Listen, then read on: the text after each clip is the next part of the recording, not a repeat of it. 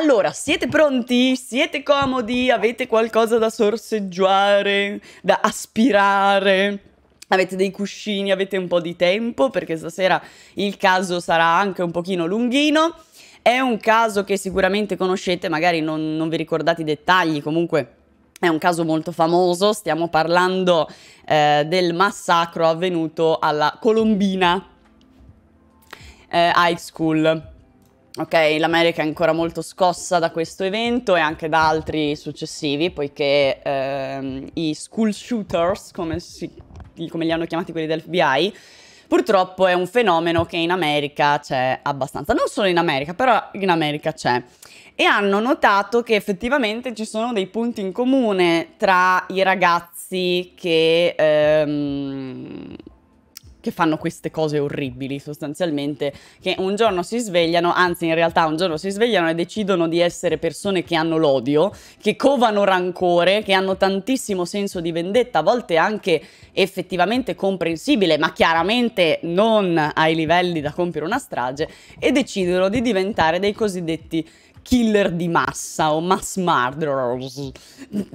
Raga, il mio inglese lasciatelo stare, è eh? inglese romagnolo, quindi... Mm va bene così.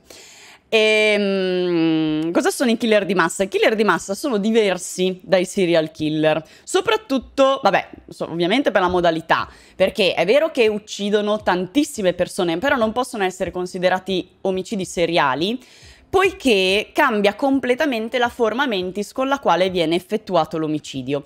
Ovvero, il serial killer uccide solitamente una vittima alla volta, anche più, però comunque eh, uccide persone in luoghi e tempi diversi, ma soprattutto il serial killer tiene alla propria incolumità, cioè tiene a non essere scoperto cosa molto diversa rispetto ai mass killer.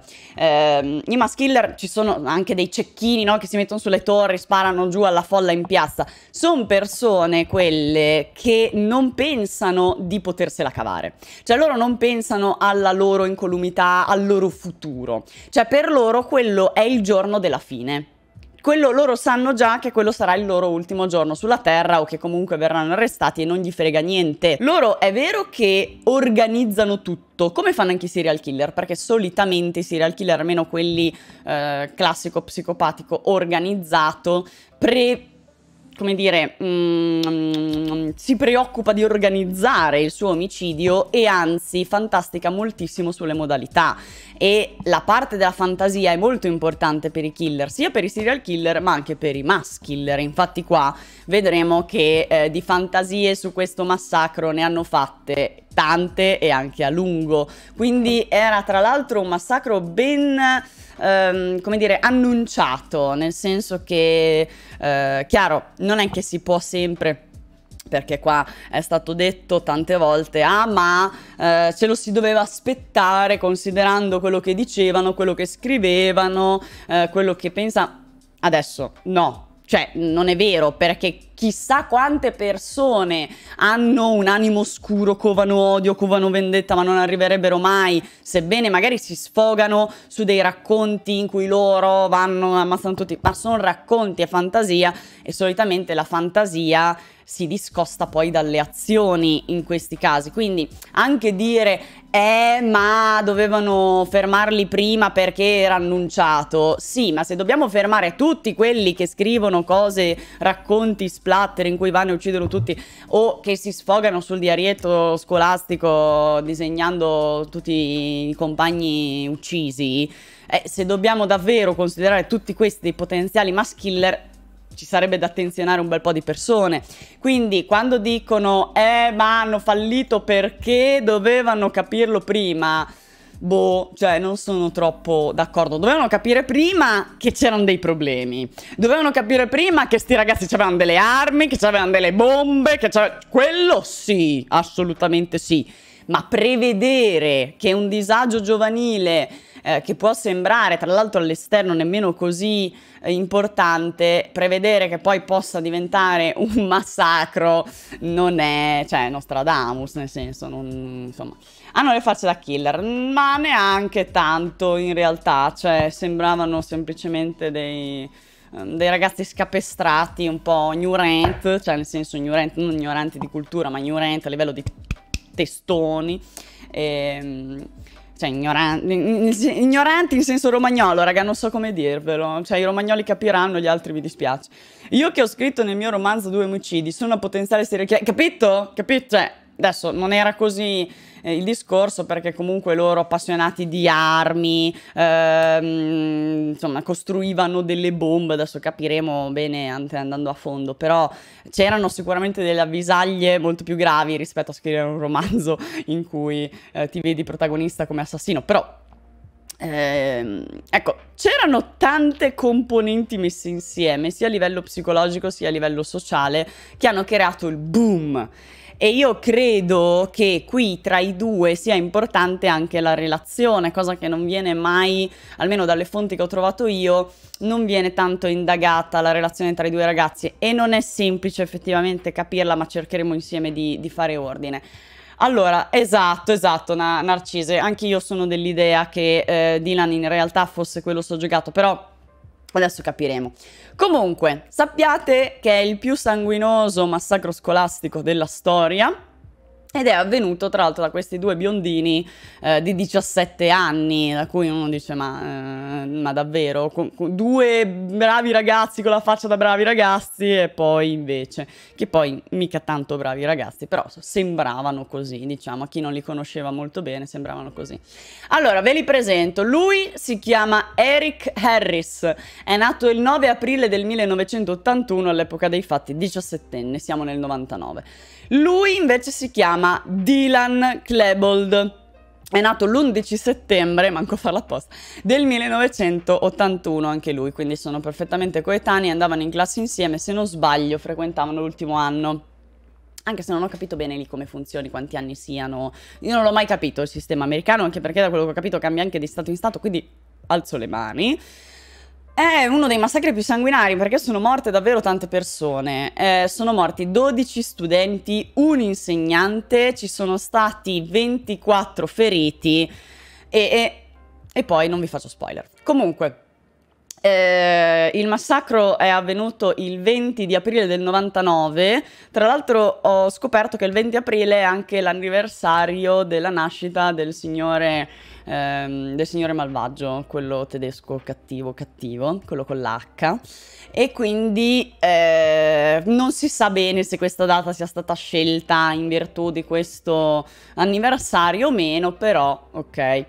Um, la scuola è la, la, Colombina, insomma non c'è bisogno che ve lo ripeto. Eh? Comunque siamo a Littleton nel distretto di Denver in Colorado, quindi è una cittadina, l'area di Denver in realtà è un'area molto molto tranquilla. Se pensate a classici eh, serial killer psicopatici in, in come dire, in, in, in, non è intellegibili, no, eh, nel senso che erano comunque delle persone antisociali, che non vuol dire asociali, vuol dire antisociali, cioè che eh, compivano atti atti, diciamo, ai danni della società, cioè non riuscivano a rispettare le regole, non è che non ci riuscivano, ci riuscivano benissimo perché erano intelligenti e sapevano come fingere di rispettare le regole, non volevano rispettare le regole perché eh, avevano bisogno in qualche modo di vendicarsi, di vendicarsi e poi io penso anche di farsi vedere perché sono sempre stati entrambi vittime di grave bullismo e questo sarà un elemento molto importante in questa storia, poiché io so bene e so che anche voi, alcuni di voi sicuramente sanno, che si prova veramente tanta rabbia quando sei lo zimbello di tutti e in continuazione non vedono l'ora che tu arrivi a scuola solo per prenderti a sputi e sassate e, eh, e, tu ti senti ogni giorno più impotente perché, come succedeva anche a loro, loro andavano dagli insegnanti, dai prof a lamentarsene o comunque c'erano anche delle scene che accadevano davanti agli occhi dei prof, quindi anche il bullismo mh, sarà sicuramente un ingrediente molto importante di questa storia. E loro, diciamo, come prima qualcuno di voi diceva, ah ma erano membri della, eh, come si chiamava, la mafia COT uh, non mi ricordo, comunque è la, la, la mafia in, in cappotto nero. E non ne facevano parte, nonostante fosse una confraternita degli emarginati, loro erano talmente marginati e talmente, diciamo, sfighe, come li chiamavano i loro amici, compagni, eccetera, amici direi anche poco però, eh, erano talmente sfighe che erano gli sfigati degli sfigati, cioè nemmeno nel Mafia Impermeabile li hanno presi, nonostante quelli fossero, diciamo, i vendicatori del bullismo, i più emarginati, eccetera, non li hanno voluti perché erano troppi sfighe, eh, per la loro quindi erano, come dire, i paria della scuola, cioè l'ultima fascia sociale, proprio quella che... C'è cioè l'ultima fascia sociale, perfetto, loro sono ancora sotto, cioè proprio quelli, quelli intoccabili, i, quelli che hanno la peste che guai mai, se tocchi ti si attacca la sfiga, capito? Una cosa del genere, infatti eh, se ci si avvicinavi, se facevi amicizia, diventavi sfigato anche a te, insomma, questo è il discorso. Accade questa cosa eh, nella contea, nella contea, sì, nel, nel, nell'area di Denver, che come vi dicevo prima è un'area molto tranquilla, un'area di periferia, diciamo per lo più residenziale, piuttosto anonima, posto classico, posto dove non succede mai niente, ma quando succede, raga, le cose vanno fatte in un certo modo.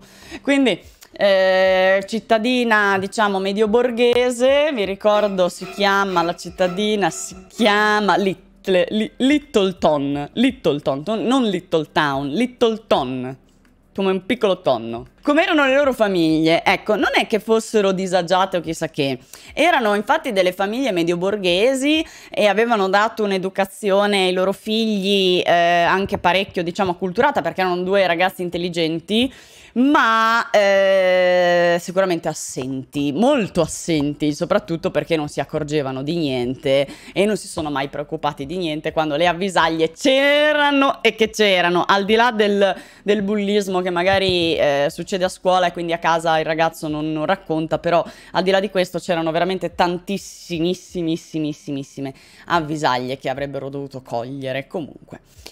Eh, va bene, allora adesso vi racconterò delle prime avvisaglie, giustamente. Allora, Eric, che è questo soggetto qui, adesso vi dico già subito che c'è una grossa differenza tra questi due.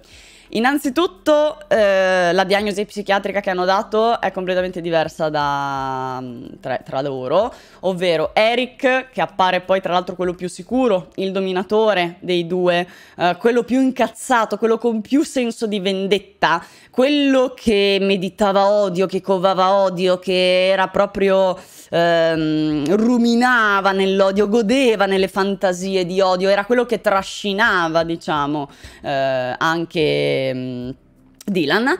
Dylan invece viene eh, diagnosticato come un depresso, per cui lui ha una grave forma di depressione e infatti vediamo anche che inizialmente i due, prima di cominciare a fare dei piani diabolici insieme, avevano tendenze completamente diverse. Siccome entrambi tengono un diario, tra l'altro che cosa strana perché io, cioè, io ho sempre detto verba volant, scripta manent. Se scrivo qualcosa sul diario, qualcuno prima o poi lo leggerà. Quindi tutto qui. Poi mi sono dimenticata tutto, quindi forse c'era un motivo per tenere il diario. Allora, Dylan, diciamo che si è fatto anche un po' trascinare poiché non aveva altra scelta, ma voi avete presente cosa significa anche essere i reietti di tutta la scuola, di tu tutti gli anni di tutta la scuola? Eh, quindi nessuno vuole stare con te e siete, vi siete trovati insieme in questa condizione. Quindi chiaramente qualunque cosa pur di non perdere il tuo amico, qualunque cosa pur di non perdere il tuo unico legame. Legame che poi, essendo lui un genio della manipolazione, perché comunque piccolino, ma scaltro, ed era anche molto intelligente, eh, ha fatto presto a soggiogare Dylan e eh, cominciare a convincerlo delle sue credenze. Proprio perché Dylan, essendo depresso, avendo perso ogni speranza nell'esistenza, ha eh, colto bene, cioè c'era terreno fertile per coltivare poi odio e vendetta e seguire anche in grande ammirazione, io penso, il suo amico. Ehm, comunque, adesso vi parlo un attimino delle prime avvisaglie. Ah, scusate, ultima differenza che mi stavo dimenticando di dirvi. Quando hanno letto i loro diari, infatti prima mi sono distratta, parlavo dei loro diari, quando hanno letto i loro diari hanno scoperto che avevano due tendenze, diciamo, di rabbia e di aggressività completamente diverse.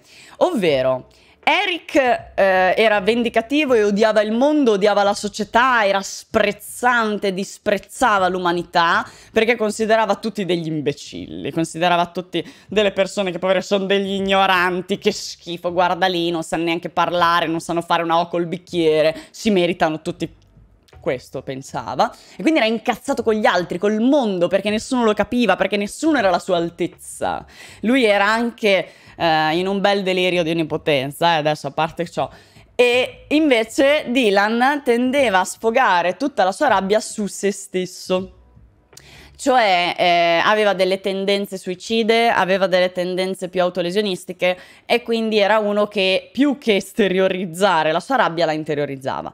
Ma sicuramente in compagnia di un, uh, di un Eric eh, comunque manipolativo che gli ha, fatto, gli, ha, gli ha, fatto, anche un po' di lavaggio del cervello e tutto il resto, questo era un bel terreno fertile per trasformare poi la rabbia che aveva verso se stesso verso il mondo fuori. Cioè quando arriva uno e ti dice guarda che non sei te sbagliato, tu sei speciale, è il mondo fuori che non ti capisce. Parliamo adesso di Eric.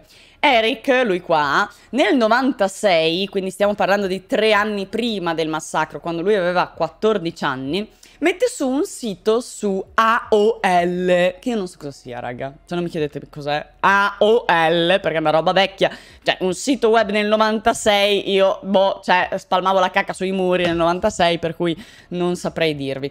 Comunque, inizialmente aveva creato una community basata su dei videogiochi, in particolare Doom, Doom 2 e Quake. Quindi gestiva i mod, gestiva, ma c'erano già i giochi online. Iniziamo con la storia perché fino adesso vi ho solo fatto un breve presentazione dei personaggi. Allora, come vi dicevo, Eric, uno dei due eh, maskiller della Colombina, eh, aveva questo sito su AOL ancora adesso non so che cos'è, forse qualcuno l'ha scritto, però io non so cosa sia, dedicato ai videogiochi in cui aveva una community dedicata insomma ai videogiochi vintage ormai, Doom, Quake, eccetera. Però dopo un po' nascerà una parte di questo sito, una specie di blog, dove lui scriveva i suoi pensieri, condivideva i suoi pensieri con la community.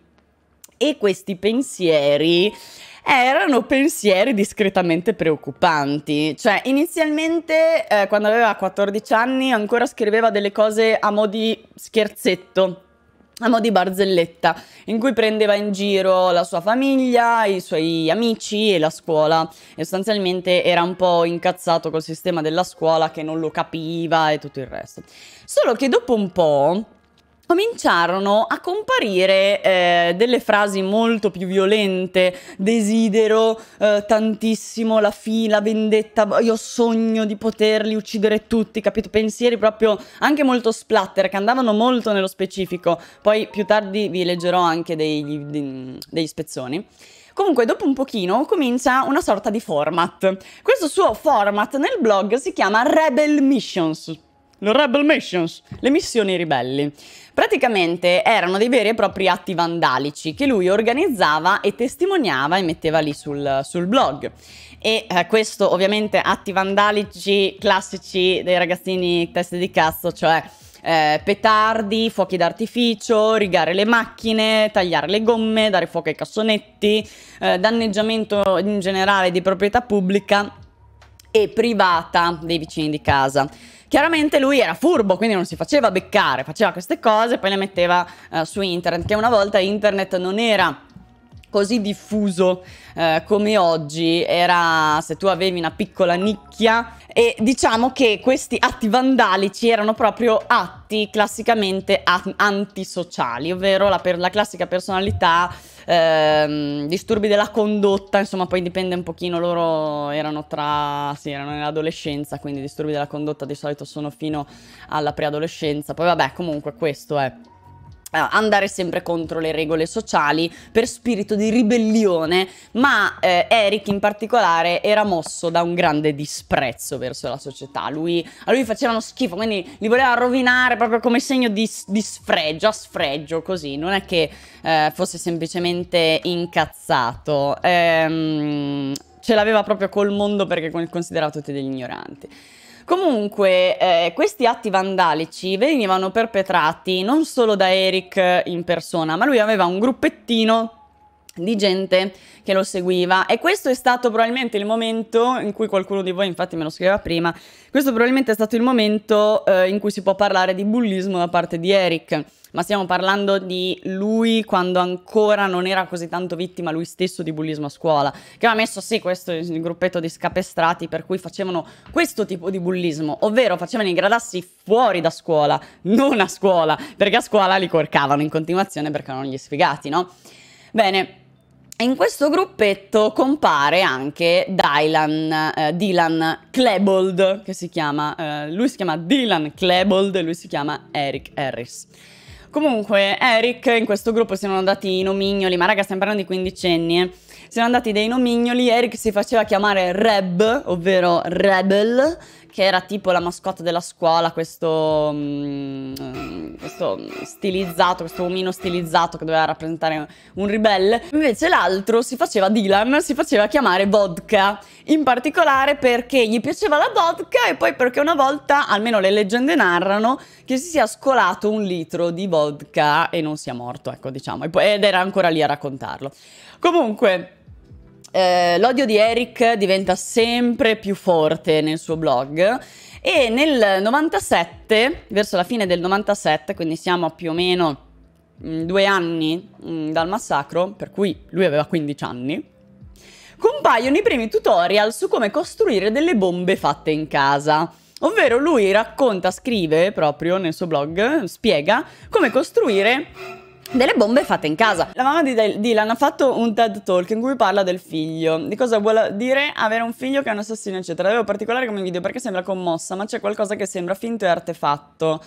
Perché lei dice eh, che da una parte mh, mm, lo ha odiato tantissimo suo figlio per quello che ha fatto e poi che ha smesso di odiarlo e che riconosce anche le sue colpe e tutto il resto. Quindi è, forse ti sembra finta un po' perché lei è combattuta tra sentimenti estremamente contrastanti. Siamo arrivati al punto in cui lui eh, a 15 anni faceva dei tutorial su come costruire bombe fatte in casa e poi c'erano anche dei messaggi di sfogo in cui lui continuava a dire di voler eh, uccidere tutti quelli che lo infastidivano, non vedeva l'ora di usare queste bombe su qualcuno per uccidere tutte le persone che gli davano fastidio e che sostanzialmente lui non sopportava e considerava solo stupidi ignoranti e però ancora non la usava perché aspettava la vittima giusta. Cioè, sembra proprio che fosse tutto molto preannunciato, ma come vi dicevo prima, non mi sento di dar la colpa a chi eh, non ha preannunciato un reale massacro, perché chissà quanti ragazzini di 15 anni scrivono cose aberranti e splatter, o che vogliono ammazzare tutti, o che hanno i desideri di vendetta mondiale, o che gli fa schifo il mondo e tutto il resto, e poi alla fine non vanno a sparare nella scuola, ammazzare tutti. Ecco, questo. Comunque vi leggo una frasina, una frasina notevole eh, tratta dal suo blog. Tutto ciò che voglio è uccidere e ferire quanto più di voi possa, in particolare alcune persone, come per esempio Brooks Brown.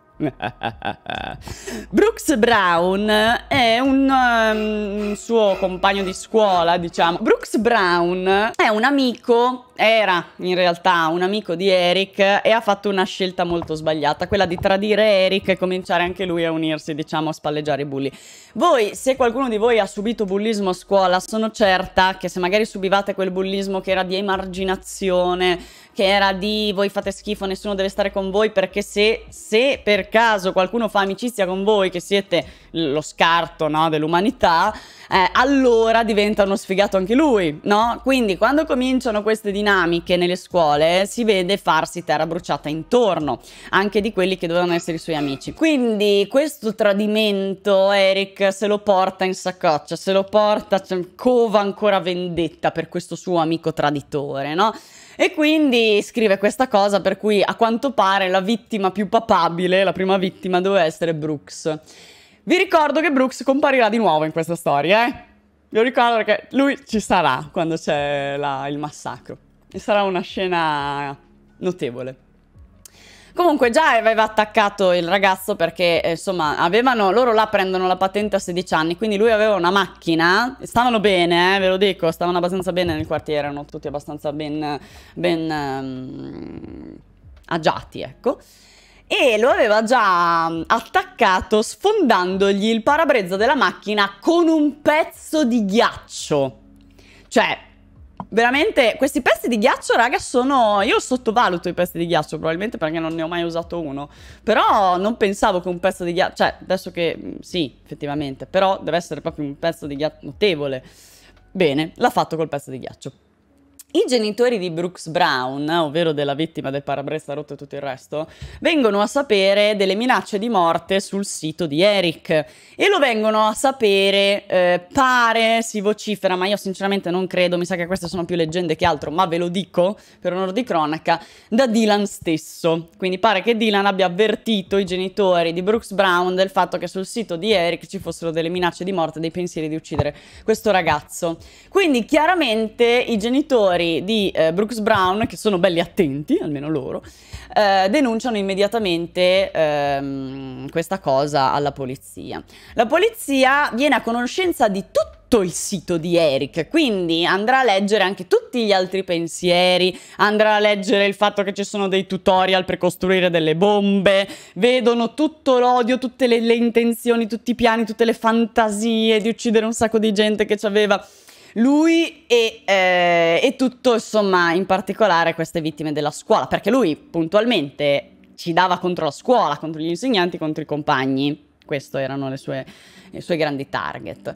Quindi, che cosa fa? Il detective che segue questo caso chiede un mandato al giudice, fa un affidavit si chiama, per uh, chiedere il permesso di poter fare una perquisizione a casa di Eric, proprio perché, insomma, si parlava di esplosivi e, e in mano un quindicenne degli esplosivi non mi sembra proprio il caso, quindi una, be una bella ispezione ci stava tutta, no? Il problema è che questo affidavit, per ragioni ignote, non viene colto, non viene... Non, non verrà mai dato il permesso di fare questa eh, ispezione, poi boh, passa in dimenticatoio, quanto pare, comunque non sappiamo bene che fine abbia fatto quell'affidavit. Quindi nessuna conseguenza eh, per, questo, per queste minacce sostanzialmente, se non un attimo di attenzione. Poi Erika ha buttato giù il, ehm, il sito, insomma ha chiuso quella parte lì e se l'è cavata un po' così. Beh, vabbè, ma so ragazzi, ma sì, ma costruiscono gli esplosivi, ma sì. E insomma hanno preso un po' sotto gamba il problema. E non è finita qui, ci sono delle altre avvisaglie di profondo disagio e di comportamento antisociale, ovvero eh, Eric e Dylan a un certo punto ovviamente loro diventano inseparabili, quindi diventano loro due partner in crime, no? E, e il gruppetto pian piano si, si, allontana da loro e rimangono solo um, loro due e hanno questa grande passione sia per il vandalismo sia per l'odio verso l'esterno. Ma come vi dicevo prima, secondo me è stata una sorta di manipolazione da parte di Eric nei confronti di Dylan, che invece era molto più depresso, più che incazzato. Però lo ha lo ha plasmato un po' su immagine e somiglianza. Poi sapete che sentimenti negativi, molto spesso le trasfusioni di nero avvengono, cioè le trasfusioni, io le chiamo così, le, eh, i, i, mm, i, passaggi di emozioni negative tra una persona e l'altra, soprattutto se si parla di due persone che hanno dei disturbi e che hanno una predisposizione ad essere incazzate, ad avere della vendetta da covare, dell'odio. Quindi eh, sicuramente eh, Eric ha fatto il suo bel lavoro su Dylan. Comunque erano diventati già ormai pappa e eh, nel 98, il 30 gennaio del 98, quindi siamo a un anno e mezzo prima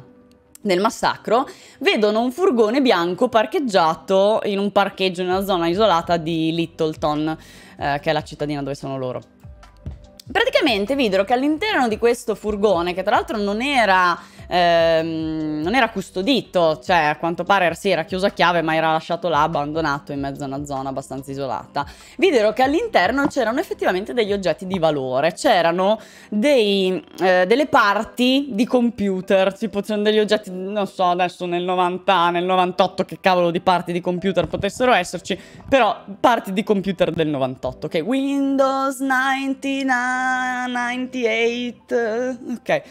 Um, per cui decidono 448 di prendere un sussone, di sfondare col sussone il finestrino del furgone e rubare tutto quello che c'era dentro. Quindi fanno, fanno la, insomma, raffano il bottino, se lo portano via tipo banda bassotti, lo caricano in macchina di Eric e vanno.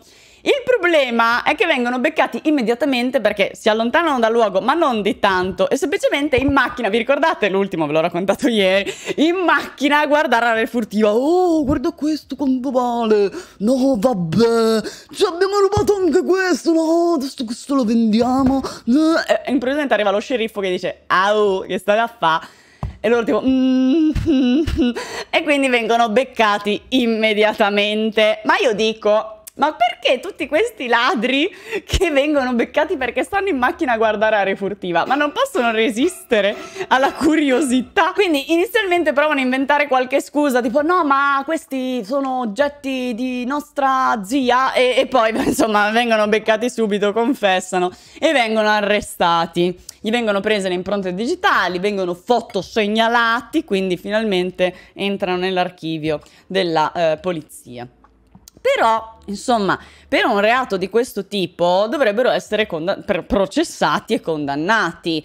Ma siccome sono minorenni e non hanno precedenti, perché non li avete beccati, però ce li avevano, e provenienti soprattutto provenienti da famiglie per bene, perché qui a Littleton ci conosciamo tutti, tutti, dai, vai, c'è il ragazzino biondino che ha fatto la bravata, adesso va a casa dal papi che gli dà due cinghiate e poi domani fila dritto, eh, sicuro, proprio sicurissimo.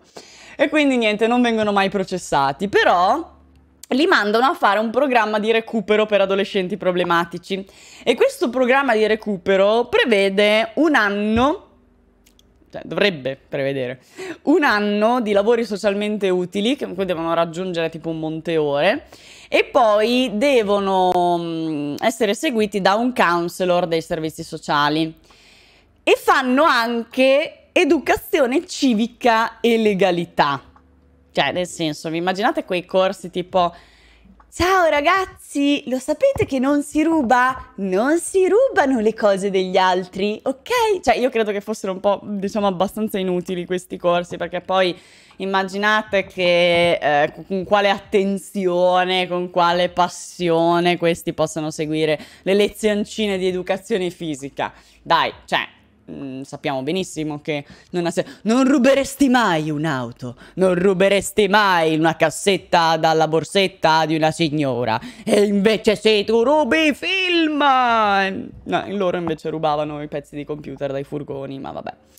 Comunque Eric farà in questo momento, Eric, il più cattivo, farà anche una, una, una, presa di coscienza importante, poiché lui dirà al counselor dei servizi sociali che lui sente di soffrire di disagi psicologici. Quindi c'è anche una certa autocoscienza a un certo punto. Cioè, questo era il momento nel quale lui poteva essere salvato, e eh, anche tutti gli altri. Ma purtroppo non ci sono riusciti. Purtroppo qualcuno qui ha fallito. Sicuramente non una persona sola, più di una, ma qua c'è stato un grande, grande, grande fallimento. Perché Eric, già considerare un. Ehm, come dire, un ragazzino così piccolo che prende coscienza di avere dei disturbi psicologici e chiede aiuto, per cui lo faranno seguire anche appositamente da uno psicologo, è un passone in avanti, è veramente un passone in avanti. Il problema è che questo sarà il primo e l'ultimo passo in avanti di Eric. Nessuno si è cagati, forse non hanno capito bene educazione cinica. Comunque, Eric andrà da questo psicologo. E che cosa fa lo psicologo secondo voi? Perché attenzione, distaccatevi un attimo dal sistema italiano per cui lo psicologo non è lo psichiatra. In eh, America a quanto pare tipo sono fuse queste due, non lo so eh, non lo so, però sembra che siano un po' fuse o che abbiano eh, diritti diversi rispetto al nostro sistema.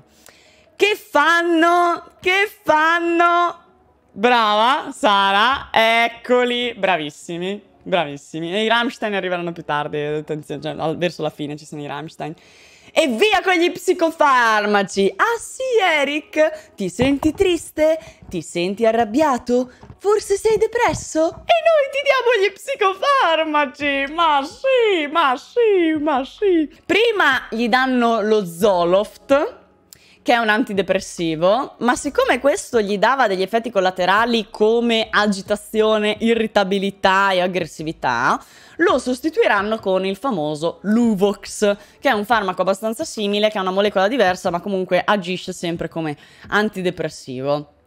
E infatti c'è stata una polemica veramente molto molto molto sentita su questa questione, poiché tante volte se si dà il farmaco sbagliato, soprattutto a un adolescente, che raga, io boh, so che la terapia farmacologica tante volte è fondamentale, soprattutto in casi molto gravi, ma eh, non lo so, secondo me in America veramente li danno molto alla leggera e soprattutto con i minori. Cioè, fanno un po' veramente di cagate con i minori, anche perché eh, ci vuole una diagnosi molto più accurata del eh vabbè sei depresso, cioè qui non era eh vabbè sei depresso, qui c'era un bel po' di roba sotto che andava indagata prima di dare dei farmaci. Comunque, vabbè, io ovviamente ogni medico ha la sua professionalità e avrà seguito il proprio sentire, anche se in America secondo me sono un po' troppo... Eh, droghiamo i bambini così stanno calmi, no? Comunque sia, vi ricordo no, che loro dovevano seguire questo programma di riabilitazione per adolescenti problematici per un anno. Però, perché così avrebbero evitato no, il tribunale, la condanna, eccetera. Però, ehi, eh, ragazzi, sono bravi, sono buoni, si comportano bene, quindi dai, ma dai facciamo anche di meno di un anno, quindi se la cavano. Anche perché erano un bel po' birichini. Cioè, in particolare Eric Eric è un gran falsone. Eric è un mentitore esperto che gode nel mentire. Lui la bugia proprio è una cosa che gli dà il brivido dell'inganno di quei, tutti quegli imbecilli che sono là, no? E quindi lui che cosa fa? Quando eh, pensa bene di mostrarsi pentito del furto al furgone. Eh, quindi non solo si mostrerà pentito e dice sì non lo farò più oh mio dio ho fatto una cagata. Allora adesso chiedi scusa al proprietario del furgone. Cosa dirà Eric?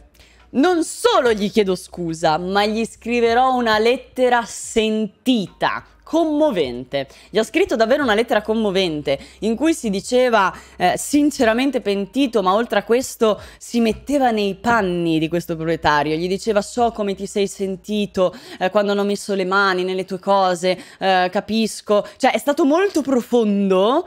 E questo denota una capacità incredibile di manipolazione da parte di un quindicenne, quasi sedicenne, ecco. Quindi, raga, ehm, un, un, un, soggettone che dire psicopatico, insomma, è livello base, cioè, mm, infatti lo hanno definito psicopatico. Psicopatico è un modo, um, diciamo, un sinonimo si dice molto dei, dei killer. Lui adorava mentire, adorava esagerare anche quello che, mm, che, provava per manipolare proprio tutte le persone che aveva sotto. E lui aveva questo senso di superiorità nella lettera, sì. Ah, esatto, psicopatico, scusatemi. Eh, lo psicopatico altro non è che eh, il... Um, il soggetto con un disturbo di personalità antisociale, misto anche a una dose di narcisismo, che poi sono due cose che molto spesso vanno a braccetto. E quindi sì, psicopatico solitamente è un termine che si usa di più nel parlato che nella clinica, però l'ho visto scritto anche nella diagnosi e tutto il resto, per cui immagino che si usi anche in clinica. Adesso io avevo capito di no, poi vabbè dipende, comunque è l'antisociale, mettetevi eh, l'anima in pace, è un sinonimo. Bene. Ehm, vi dicevo che tra l'altro, oltre ad aver mandato questa lettera in cui si diceva sentito, in cui ha fatto un esercizio di empatia notevole, Eric cancella immediatamente il suo sito, cioè ci rimane soltanto la parte dei videogiochi, quindi cancella tutto quello che aveva scritto sull'odio, sulle persone e tutto il resto, e decide di cambiare mezzo. Cioè, di non scrivere più le cose sul suo blog su internet, dove magari altri avrebbero potuto leggere, ma eh, di usare un supporto cartaceo. Quindi si prende il diarietto, non so, Smash Memo, non lo so. No, c'aveva un diario goth, perché lui era un tipo goth metal, eccetera in cui scrive tutti i suoi pensieri di odio che sono ancora più forti degli altri. E questo diario, questa smemo, come, come la che poi non è la smemo, eh, lo dico io per ridere, però non era la smemo. Uh, come lo chiamerà questo diario? È il suo libro, il suo libro dei pensieri. Si chiamava The Book of God. The Book of God, cioè il libro di Dio, che era il suo libro. Quindi, cioè, neanche un po' narci, eh, neanche un pochino di narcisismo c'era qui. Comunque lui ovviamente lì nel diario non faceva altro che scrivere quanto odiava tutti, quanto voleva uccidere tutti, l'avete capito ormai faceva così. Ma una cosa che ha particolarmente colpito gli inquirenti quando l'hanno trovato è il fatto che lui si vantava tantissimo della sua superiorità sugli altri e della sua capacità di mentire. E eh, annoterà anche la questione della lettera dicendo ah ah ah quanto ho ingallussato tutti vedete come sono superiore a tutti quanti. Io mentendo gli faccio credere di essere un bravo ragazzo con la faccia da bravo ragazzo realmente pentito e invece li sto manipolando tutti e sono bravissimo a mentire perché nessuno ha capito che in realtà covo ancora dell'odio e non mi pento assolutamente di quello che ho fatto. Anzi ne vado fiero cioè era proprio cattivissimo bravissimo me in quel diario. E insomma, lui continuava a dire che erano tutti imbecilli. Adesso vi leggo, vi leggo un trafiletto. Ma com'è se vivo in America e sono libero? Com'è che non posso derubare uno stupido fottuto cretino della sua roba se lascia sul sedile anteriore del suo fottuto furgone in piena vista nel mezzo nel nulla il fottuto venerdì sera? Selezione naturale. Bisognerebbe ucciderlo. E poi aggiunge un altro insulto. Quindi lui, cioè, non è pentito, anzi, diceva che bisogna anche ammassarlo questo qua, nella sua testa. Perché chiaramente era così imbecille da aver lasciato le sue cose lì, quindi ovviamente lui aveva il diritto di togliergliele. Questo è un pensiero che lui ha, vero, lui pensa veramente questo. Lui pensa che la gente è talmente stupida, ignorante e ingenua e nel, in modo negativo che si merita tutto il male che lui gli vuole fare. Proprio perché te lo sei andato a cercare, sei stupido e quindi io ti punisco. Vedete anche questo grande senso di superiorità che è nei confronti di tutti? Cioè, laddove Dylan all'inizio, probabilmente anche fino alla fine, si è sempre sentito lui quello inadatto, si è sempre sentito lui eh, quello sbagliato. Invece Eric ha un approccio completamente diverso, cioè lui è quello superiore e gli altri sono tutti imbecilli, no? Infatti, contrariamente, no, come vi dicevo, all'energia di Eric aggressiva verso l'esterno, Dylan all'inizio ce l'aveva solo verso se stesso. Anzi, Dylan eh, era abbastanza un incel, anche un po' red pillato, diciamo, anche se ancora non esistevano queste eh, categorie, queste etichette. Però lui diceva che tutta la sua depressione, tutti i problemi della sua vita derivavano dal fatto che le ragazze lo schifavano. Lui avrebbe voluto tanto avere una ragazza, in particolare poi una che eh, lo ha rifiutato rifiutato e lui ci è rimasto proprio tantissimo sotto con questa qui, ci è rimasto malissimo per questo rifiuto e quindi tutta la sua depressione, tutta la sua voglia di morire e, e poi successivamente la rabbia verso l'esterno, secondo lui era dovuto al fatto che continuava a essere rifiutato dalle ragazze. Ovviamente eh, questo non è l'unico motivo, sicuramente non è l'unico motivo. Comunque, ehm, cominciano immediatamente a scrivere quando loro sono insieme dopo questo, uh, questa avventura, ma anche durante in realtà la loro avventura con i lavori socialmente utili, si ritrovano poi loro due. Prima fanno gli angioletti biondi che si sono uh, pentiti, che fanno i lavori socialmente utili con grande spirito e tutto il resto, e poi invece si appartano loro due per cominciare a fantasticare su dei piani di sterminio di massa sostanzialmente niente, cioè loro fin da subito hanno, che poi secondo me è stata un'idea puramente di Eric e Dylan ci è andato dietro, però avevano ehm, fin da subito il desiderio di fare un mass murder, cioè proprio un'uccisione di massa. Inizialmente, pensate siamo nel 99, eh? inizialmente il loro piano era quello di dirottare un aereo dall'aeroporto di Denver per farlo schiantare su un grattacielo di New York. Paura, eh? Paura! Poi chiaramente si sono resi conto di non avere i mezzi per dirottare un aereo. Non era proprio così semplice dirottare un aereo. Comunque, eh, top Nostradamus qua, perché cioè, eh, l'attacco alle Torri Gemelle avviene due anni dopo e loro ci avevano già pensato loro, capito? Gli hanno, gli hanno scamato l'idea. Già da un anno esatto, cioè già dal 20 aprile del 98, loro avevano già cominciato a pensare a fare un attacco a scuola, a fare proprio un, un, un'azione di massacro a scuola. Non avevano ancora ideato bene tutto il piano, ma l'idea è rimasta quella fino alla fine. Comunque, eh, man mano che eh, evolveva questo piano, avevano deciso questo, cioè prevedeva ciò. Loro dovevano mettere delle bombe nella mensa in eh, corrispondenza delle, delle colonne portanti della stanza e le avrebbero dovuto far esplodere nel momento in cui tutti quanti si accalcavano in mensa all'ora di pranzo, quindi nella loro testa c'era quella di fare il più danno possibile per uccidere più persone possibili. Ovviamente facendo crollare ehm, il piano intero, perché fai crollare le colonne portanti, chiaramente il piano poi viene schiacciato dalle macerie e tutti quelli che sono sotto, ahimè, eh, non sopravvivono. Quindi nel loro eh, piano diabolico, il loro obiettivo era quello di far fuori più o meno 450 persone. Poi, praticamente, nel, nel piano c'era piazzare le bombe, uscire dalla scuola, aspettare l'esplosione, poi dalla, da una zona rialzata a stare lì a fare i cecchini e sparare a tutte le persone a tutti gli studenti sopravvissuti che eh, sarebbero scappati dall'edificio, dalle entrate principali, quindi loro si sarebbero messi lì a cecchinare tutti i superstiti.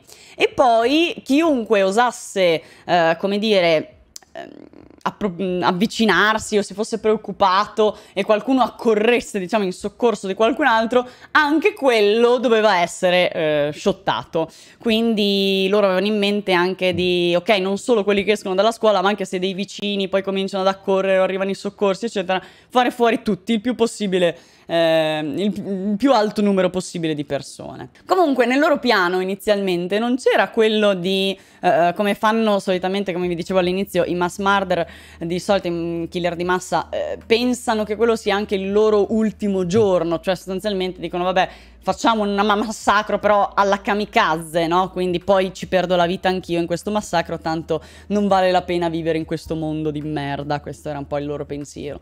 Invece inizialmente pensavano addirittura di fuggire in Messico.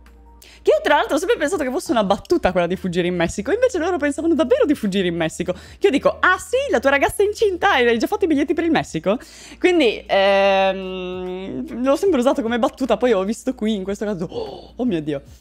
Comunque, subito, mm, subito, dopo si rendono conto che effettivamente anche loro sarebbero rimasti uccisi molto probabilmente in questo massacro, poiché se se ne fossero andati prima non avrebbero fatto tutto il danno che volevano fare, perché loro sognavano in realtà di morire durante lo scontro a fuoco con la polizia, quindi si vedevano, come dire, dei martiri, degli antieroi, eh, volevano rimanere nella storia come degli antieroi, come dei mostri, ce l'hanno fatta benissimo, eh? in questo caso, guarda, siamo qui a parlare di voi, quindi eh, ce, ce, l'avete fatta benissimo, però alla fine eh, farla finita anche loro, perché comunque l'alternativa comunque non era sicuramente buona.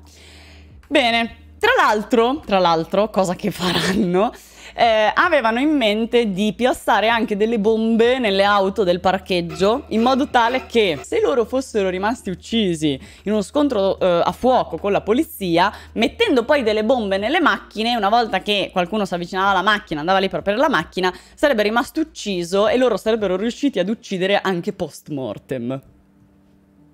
Cioè, c'era della rabbia, eh. Pochino di rabbia c'era. Comunque loro non scrivevano il loro piano soltanto sui loro diari segreti, ma in realtà lasciavano continuamente indizi e questa cosa è notevole perché secondo me era una richiesta di attenzione di aiuto, di aiuto tra virgolette. Cioè loro lasciavano degli indizi nei compiti in classe. Cioè quando gli chiedevano di fare un tema, o gli chiedevano di inventare una storia, qualunque cosa, loro, quella storia era quella, cioè puntualmente loro che eh, andavano in una scuola o in un luogo e compivano un massacro. Quindi ci sono stati anche degli insegnanti che a una certa hanno detto, ciò ma qua state scrivendo veramente delle robe mega violente, ma stai bene, è tutto a posto, sì sì. Quindi cioè, delle avvisaglie ne avevano date, però raga, come sempre, anche qui eh, ti chiedono di scrivere un, un, testo dove tu sei il protagonista, devi fantasticare su una probabile avventura e loro scrivevano in continuazione dei gran massacri. Eh, per nulla sospettuccio. Mm. Però richieste di aiuto per organizzare il massacro. No, cioè secondo me avete presente come quando tanti criminali covano all'interno del loro subconscio il desiderio di essere fermati? Mi viene da pensare che molti criminali sviluppino dei deliri paranoidi per questa volontà inconscia, ma certo, perché secondo me al loro interno, cioè non esiste una persona che è solo cattiva, cioè non c'è un monolite di essere umano fatto di cattiveria, nato dalla, dalla materia de, de, de, della malvagità e si sviluppa come l'anticristo in terra. Cioè, non esiste questo.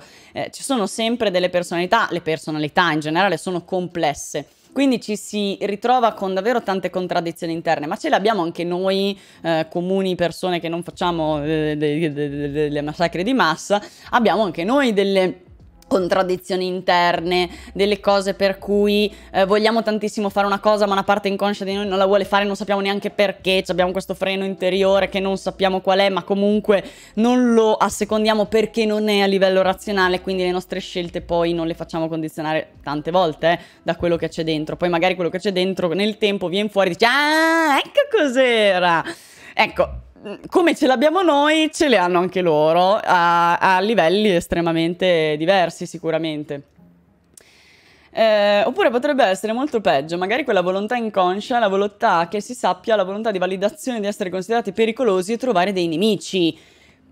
Ottima analisi, bella, bella questa cosa che hai detto Elio, sì, Poteva anche essere, adesso io magari ho pensato troppo bene, poteva anche essere che eh, stavano scrivendo quei temi per spaventare le loro vittime e in modo tale che, come dire, tanto va arriva, eh. Adesso io ve lo scrivo, così un po' vi faccio subodorare, no? Vi do un indizietto che poi arrivo e faccio la strage. Poi quando rileggerete quello che avevo scritto ci ripenserete, che vi, vi avevo anche mezzi avvisati io, perché un po' voglio sembrare anche un po' inquietante prima di fare il mio gesto estremo. Voi sappiate che tra l'altro questo massacro è avvenuto in una maniera super teatrale, cioè loro, se vedete i video, adesso non ve li posso far vedere giustamente, ma i video ci sono loro che entrano tronfi a testa alta così, camminano così proprio, pom, pom, pom. Cioè, sono in... Cioè, io la pelle d'oca solo a raccontarvelo, ma vi giuro, sono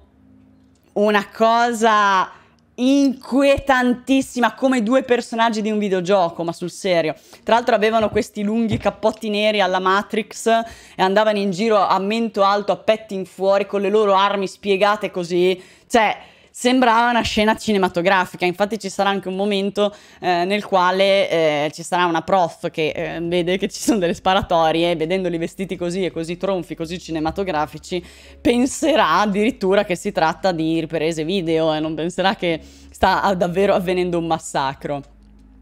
Raga, i video li, li, trovate sia nei documentari che in giro per l'internet li trovate. Eh, non è facilissimo reperirli, però mm, anche perché hanno evitato l'FBI di, di, divulgare queste immagini proprio per paura di emulatori, per paura di persone che possano prendere, diciamo, ispirazione. Le armi, adesso scoprirete bene dove le, le armi, adesso non sappiamo esattamente dove, ma se le procuravano illegalmente. Le compravano, facevano, avevano... Mh, mm, come dire, preparato nel tempo un arsenale, tenevano nascoste queste armi, le compravano un po' alla volta per creare proprio tutto il loro arsenale.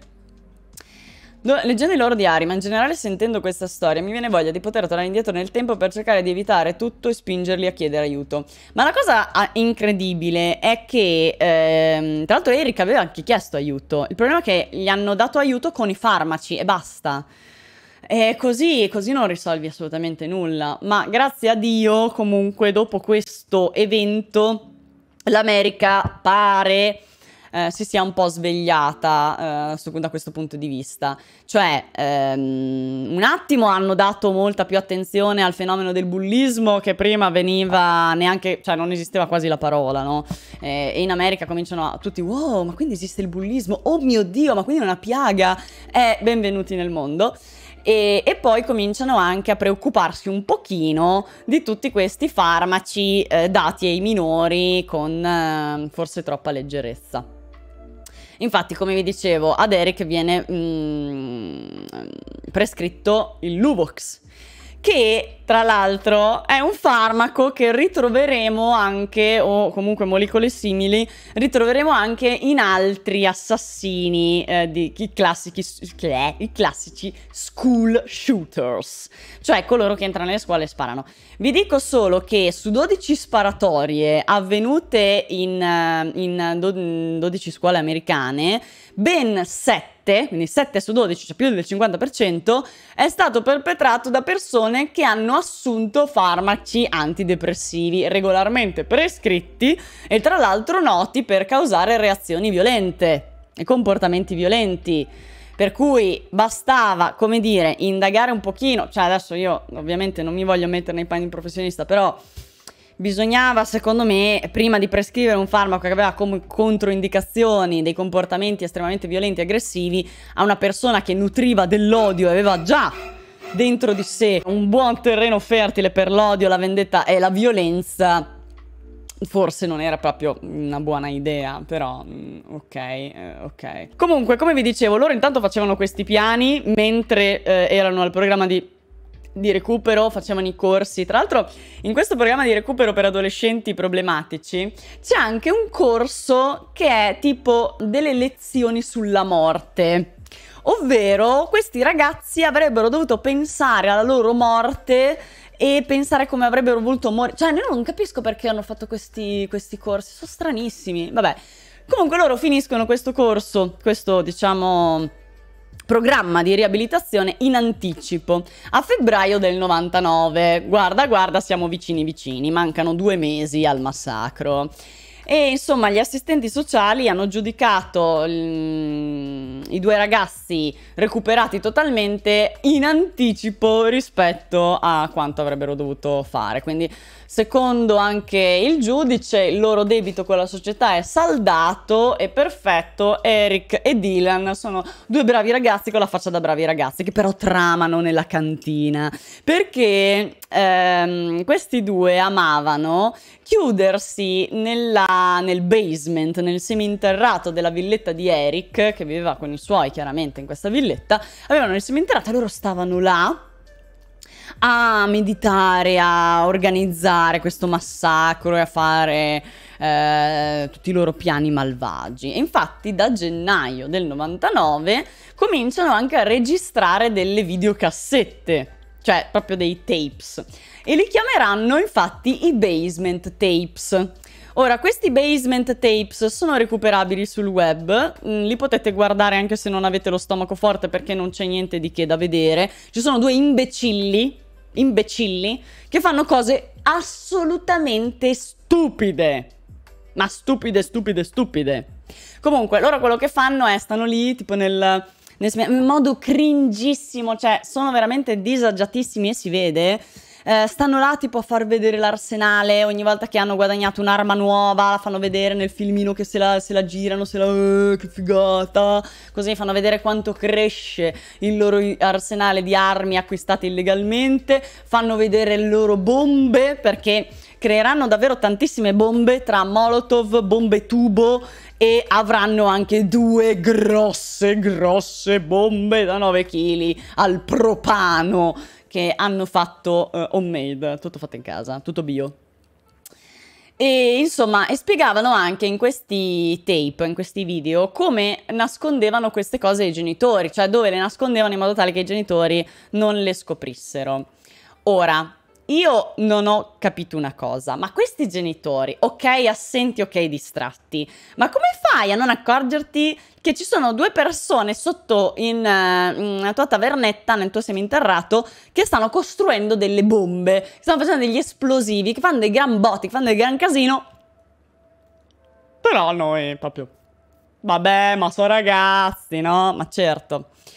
Comunque, adesso vi faccio vedere un, uh, giusto uno screenshot. Ecco, questo è uno screenshot di come andavano ad allenarsi eh, nel bosco lì vicino eh, per eh, imparare a tirare.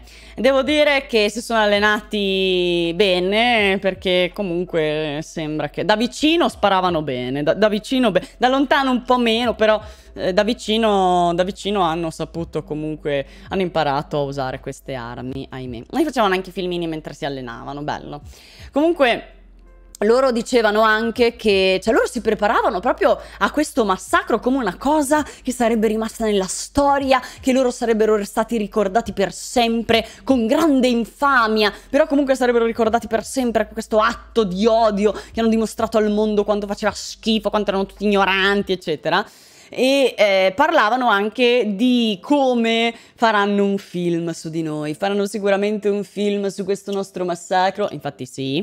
Eh, il film, diciamo, più mm, ispirato, pare, a questa vicenda è quello che mi dicevate prima, Elephant, un film del 2003, diretto da Gus Van Sant, eh, che non conosco ovviamente, ma Elephant si intende l'elefante nella stanza, ovvero quella cosa che tutti, diciamo, vedono ma di cui nessuno parla. E probabilmente è un riferimento al fatto che fosse una tragedia preannunciata, immagino, comunque non l'ho visto, quindi non c'è pericolo che io possa parlarvene. E, ehm, non so se, perché loro quando parlavano di questo film, tra l'altro durante i tapes, dicevano ma tu da chi registra, che regista vorresti per il nostro film? E lui diceva ma questo qui, no a me non piace, vorrei più quell'altro. Quindi, cioè capito come parlavano di sto, ma erano già sicuri che sarebbero rimasti nella storia ed è successo proprio quello che si auguravano purtroppo. Comunque Mezz'ora prima del massacro, quindi siamo al 20 aprile del 1999, mezz'ora prima del massacro gireranno un ultimo filmino, un ultimo, sì, un ultimo tape, nel quale si scusano con le loro famiglie e si vantano di come sarebbero stati ricordati per sempre. Perfetto. Ah, a proposito, tra questi filmini eh, Basement Tapes potete trovare e guardare, se volete, no, insomma, tra... Radioactive Clothes. Radio, radioactive Clothes. Vestiti radioattivi, ok?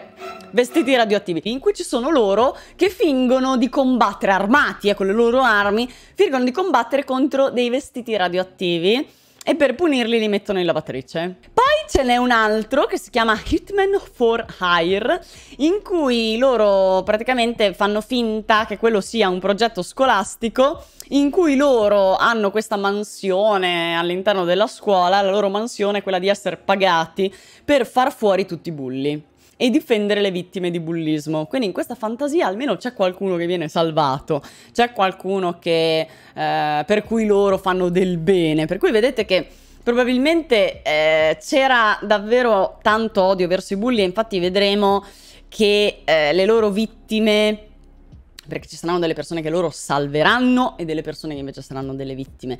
E molto probabilmente anche in questa scelta c'è un po' di uh, io decido chi è buono e chi no, io decido chi deve morire, chi sopravvive. Quindi giocare a essere Dio, sempre in questa sorta di onnipotenza assurda. Veniamo al 20 aprile, alla maledetta data del 20 aprile.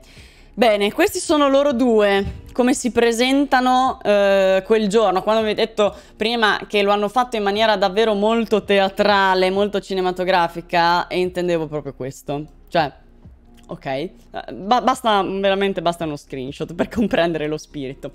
Comunque Eric e Dylan arriveranno a scuola alle 11.10 di quel 20 aprile del 99, ognuno con la propria auto, quindi vanno separatamente e tra l'altro eh, parcheggeranno in due zone diverse per avere eh, in due la totale visione di tutte le uscite di emergenza, di tutte le uscite principali eh, della scuola. Comunque loro ovviamente come vedete avevano questi lunghi mm, cappotti neri alla stile Matrix e andavano in giro con cioè proprio così e, ehm, e l'idea iniziale è chiaramente quella che vi ho detto prima, cioè il piano che avevano prestabilito. Inizialmente provano mettendo una bomba così tipo un attimo per fare del casino e attirare un po' l'attenzione hanno messo una bomba in un campo poco distante dalla scuola che sarebbe dovuta esplodere alle 11.14. Ovviamente questo era tipo un diversivo, cioè volevano far esplodere qualcosa lontano dalla scuola in modo tale che ehm, insomma il personale di soccorso, le varie persone che si occupano dell'emergenza sarebbero andate là e quindi le avrebbero distratte da poi il vero massacro. Il problema è che la bomba esplode alle 11.14, ma se doveva fare boom, la bomba farà B. Quindi, cioè, tipo, non è che neanche esplode, cioè, prende giusto un po' fuoco, c'è un piccolo incendietto e arrivano e spengono, insomma, arrivano i pompieri e spengono subito questo incendio. Ma eh, le bombe veramente grosse, le bombe, quelle, mm, eh, quelle serie, vi ho detto che avevano anche preparato nel loro arsenale delle bombe al propano da 9 kg l'una. Cioè, 9 kg di bomba. Cioè, io non oso immaginare. E praticamente c'erano questi due borsoni in cui avevano caricato queste due mega bombe. E eh, come vi dicevo, no, il, il, piano era quello di lasciarle, infatti rimarrà quello il piano, come era prestabilito ormai da mesi e mesi e mesi. Hanno in mente di lasciare i borsoni proprio ai piedi delle colonne portanti della mensa di lasciarle lì nel momento in cui sarebbero arrivati tutti quanti per mangiare, quindi quando si accalcava poi tutta la gente sarebbe stato l'orario in cui sarebbe esplosa la bomba. E questa bomba sarebbe dovuta esplodere alle 11.17. Ora, io non so bene ehm, lì a che ora andavano a pranzo, però alle 11.17 mi pare un po' presto. Però a quanto pare invece era l'orario in cui arrivavano tutti davvero in mensa. Mm, boh, strano, però pensavo mangiassero più tardi, ma forse mi sbaglio io. Comunque faranno esattamente come da piano. Ma genialmente beccano anche il momento nel quale viene cambiato il nastro di, delle telecamere di videosorveglianza, perché nella mensa chiaramente c'erano le telecamere di videosorveglianza. Quindi il custode andava a, a, cambiare il nastro ogni tot e loro hanno beccato proprio quel momento in cui le telecamere non avrebbero registrato il loro piazzare le bombe lì, perché se chiaramente le, eh, le telecamere li avessero mh, catturati, eh, chi guardava i video poi avrebbe subito visto che piazzavano delle bombe e magari andava a toglierle, e invece loro volevano avere la sicurezza che esplodessero. Quindi piazzano le bombe, corrono fuori dalla scuola e ritornano ognuno dentro la propria auto così e dice ok, ora alle 11.17 esplode, ora esplode, ora esplode. Sono le 11.16, un minuto, un minuto, un minuto, un minuto. Le 11.17. Esplode, esplode, esplode, esplode. E quindi niente. Non ci sono eh, esplosioni, queste bombe è stato un epic fail, non sono esplose, quindi ci rimangono un pochino anche così.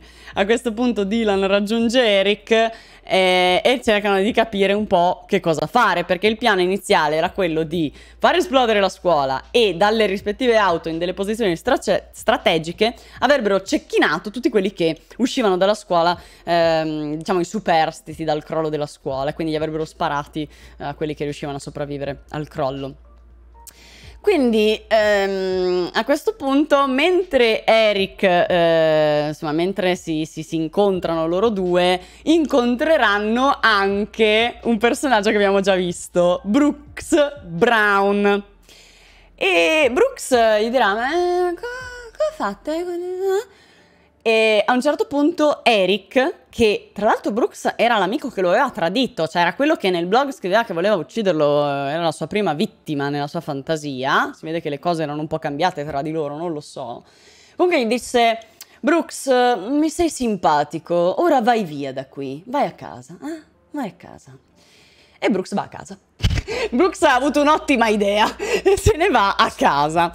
Ora, eh, questa cosa di decidere chi vive e chi muore è una cosa che per esempio faceva anche il Night Stalker, che è sempre rimasta un po' nel dubbio, ma perché alcuni li ammassava, alcuni no? Perché l'onnipotenza più grande è giocare a fare Dio, cioè c'è tanto potere sia nel togliere una vita che nel decidere di salvarla. Capite che è il potere che a loro interessa, non neanche tanto la distruzione, cioè la distruzione è una conseguenza del loro desiderio di potere e c'è anche questa, ehm, questo desiderio di farsi vedere da tutti nella loro esplosione di onnipotenza. È proprio per questo che hanno scelto di farlo a scuola davanti a tutti con un'enorme platea e non si nascondevano e vedete come vanno in giro. Loro vogliono incutere timore, vogliono sembrare quelli che hanno in mano il mondo, quelli che possono decidere della vita e della morte, gli dei oscuri di quel 20 aprile, no? Comunque, eh, chiaramente queste bombe non sono esplose, ma se fossero esplose avrebbero davvero ucciso più o meno 400 persone come loro pensavano. Quindi l'avevano anche pensata bene, peccato che... no, peccato, per fortuna, che non sapevano fare le bombe. Comunque, ehm, insomma, si ritrovano lì, le bombe non sono esplose, loro dicono, senti, prendi su le armi e andiamo a farli fuori uno dopo l'altro. Quindi si armano fino ai denti, prenderanno tutto il loro arsenale che adesso avevano dei fucili a pompa, avevano delle carabine, avevano delle semiautomatiche, avevano tantissime molotov, bombe tubo, avevano due coltelli eh, così per gamba, cioè un coltello per gamba. Eh, armati veramente fino ai denti. A un certo punto eh, saliranno sulla cima della scala dell'entrata ovest della scuola, che è praticamente il punto più alto della scuola. Quindi lì avevano una visione, anche perché c'erano delle collinette poco davanti, avevano una visione eh, completa di quello che poteva succedere fuori dalla scuola. Si piazzano lì, estraggono i fucili a pompa ed Eric urlerà. Via, via! Cioè, immagino che aveste detto go, go! Così. E a questo punto cominciano a far fuoco su tutti gli studenti che sono fuori dalla scuola in quel momento. E purtroppo le prime due vittime eh, saranno proprio due ragazzi seduti sulla collinetta, che erano semplicemente seduti lì sul prato a mangiare insieme. Eh, si chiamano Rachel Scott e Richard Castallo. Eh, Richard viene colpito e cade a terra e resta immobile, nonostante non sia morto. Invece Rachel, quando viene colpita, comincia ad agitarsi. E questa purtroppo è stata la sua sfortuna perché eh, vedendola ancora viva le sparano di nuovo e alla fine eh, lei purtroppo morirà. Mentre invece lui che si è finto morto è riuscito a cavarsela. Eric a quel punto si toglie il giubbotto di pelle, prende la carabina semiautomatica e comincia a scendere le scale eh, sulla cima delle quali erano. Solo che scendendo le scale incontreranno tre ragazzi che stanno salendo invece le scale. Davanti c'è Daniel Rohrbuk, raga hanno dei cognomi in questa terra veramente faccio fatica, eh. Daniel Sean Graves e Lance Kirklin eh, Eric sparerà al primo della fila, cioè Daniel, che rovin rovinosamente cadrà sopra Daniel, che era il secondo, che cade poi su Sam, quindi c'è una... cadono uno, uno sull'altro. E a quel punto eh, lui cercherà di sparare un po' a tutti e tre, l'unico che ne so sopravviverà, sopravviverà che però rimarrà deturpato a vita, è quello che si trova in mezzo e che quindi rimane schiacciato, diciamo, tra i corpi degli altri e non viene eh, freddato, diciamo, non, non gli viene dato l'ultimo colpo di grazia. Proseguendo nella loro follia, vedono che ci sono altri cinque ragazzi sulla collinetta accanto alla scala. Sparano al primo che vedono, Michael Johnson, che però riesce a scappare, cioè nonostante sia stato colpito, riesce a continuare a correre e fugge, quindi si salva fuggendo lontano. Poi colpiranno un altro ragazzo, Mark Taylor, che eh, una volta raggiunto dal proiettile cade e ha un'idea geniale, cioè quella di fingersi morto immediatamente, cioè resiste al dolore e si finge morto. Tutti coloro che in questa storia si sono finti morti effettivamente sono riusciti a cavarsela, quindi è una buona idea, eh? una... Teniamo, adesso speriamo che non si succeda mai una roba del genere, che non averne mai bisogno in vita nostra, ma ecco, importante anche imparare no, dalle vicende. Zodiac certo che lo porterò, certo, una domenica perché ho bisogno di prepararlo bene, comunque sì. Loro palesemente incapaci di sparare veramente con delle armi. Erano davvero dei bambini che si sono approcciati quasi stessero giocando ad uno sparatutto. Sì, sì, Infatti hanno voluto dare anche un po' di colpa ai videogiochi, ai videogiochi violenti come al solito. Loro ovviamente erano appassionati di questi videogiochi violenti e quindi eh, avevano rivisto in, questa, in, questo massacro, si, si, comportavano veramente come fossero in un videogioco sparando a destra a manca e eh, non erano neanche poi così bravi. Hanno fatto fuori tanta gente anche perché poi gli, gli sparavano molto da vicino. Gli opossum per evitare i predatori si fingono morti. Ah, fingendo i rigor morti, cernendo odore di morto. Ecco sì, la tattica dell'opossum allora. Grazie Kiki per la spiegazione. Grazie mille. Come vi dicevo, vabbè, adesso questo in particolare, i tre sulla scala non erano morti, si stavano un po' trascinando, quelli che avevano colpito all'inizio, poi gli risparano di nuovo, un altro viene addirittura calpestato, cioè una cattiveria veramente infinita. Poi a un certo punto Dylan andrà in mensa. Si pensa che lui sia andato in mensa per andare a vedere perché le bombe non sono esplose. Che tra l'altro non mi sembra una buona idea, Dylan. Cioè, se le bombe non sono esplose, non è che tu puoi andare lì e fare. Eh, allora, allora? Cioè, non è una buona idea. Comunque la mensa ormai era stata evacuata, c'era solo qualche studente che era rimasto nascosto sotto i tavoli e che Dylan fortunatamente non vide. Quindi va in mensa, fa un giretto, non vede che ci sono persone nascoste sotto i tavoli e se ne esce, per fortuna. Il problema però è che uscendo dalla mensa incontra Anne-Marie Hochschalter, o, o, Hochschalter, raga, anche questo è un difficile come cognome, è una ragazza, anche lei seduta vicino all'entrata e appena lo vide lei comincia a fuggire, se lo dà a gambe perché chiaramente arriva, si vede arrivare questo qui armato fino ai denti che le punta un'arma e lei si, si, si scappa.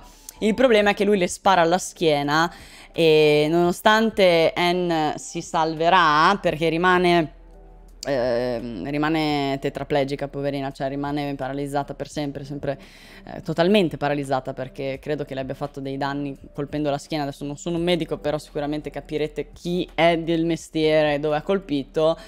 E sua madre purtroppo non ha retto a questa tragedia e si è tolta la vita sei mesi dopo, la madre di questa ragazza. Quindi immaginatevi, cioè anche la, cioè, la, una vita veramente completamente rovinata. Cioè, non solo tu rimani paralizzata per tutta la vita in una sedia a rotelle in cui puoi muovere a malapena la faccia, ma tua mamma ti abbandona sei mesi dopo suicidandosi.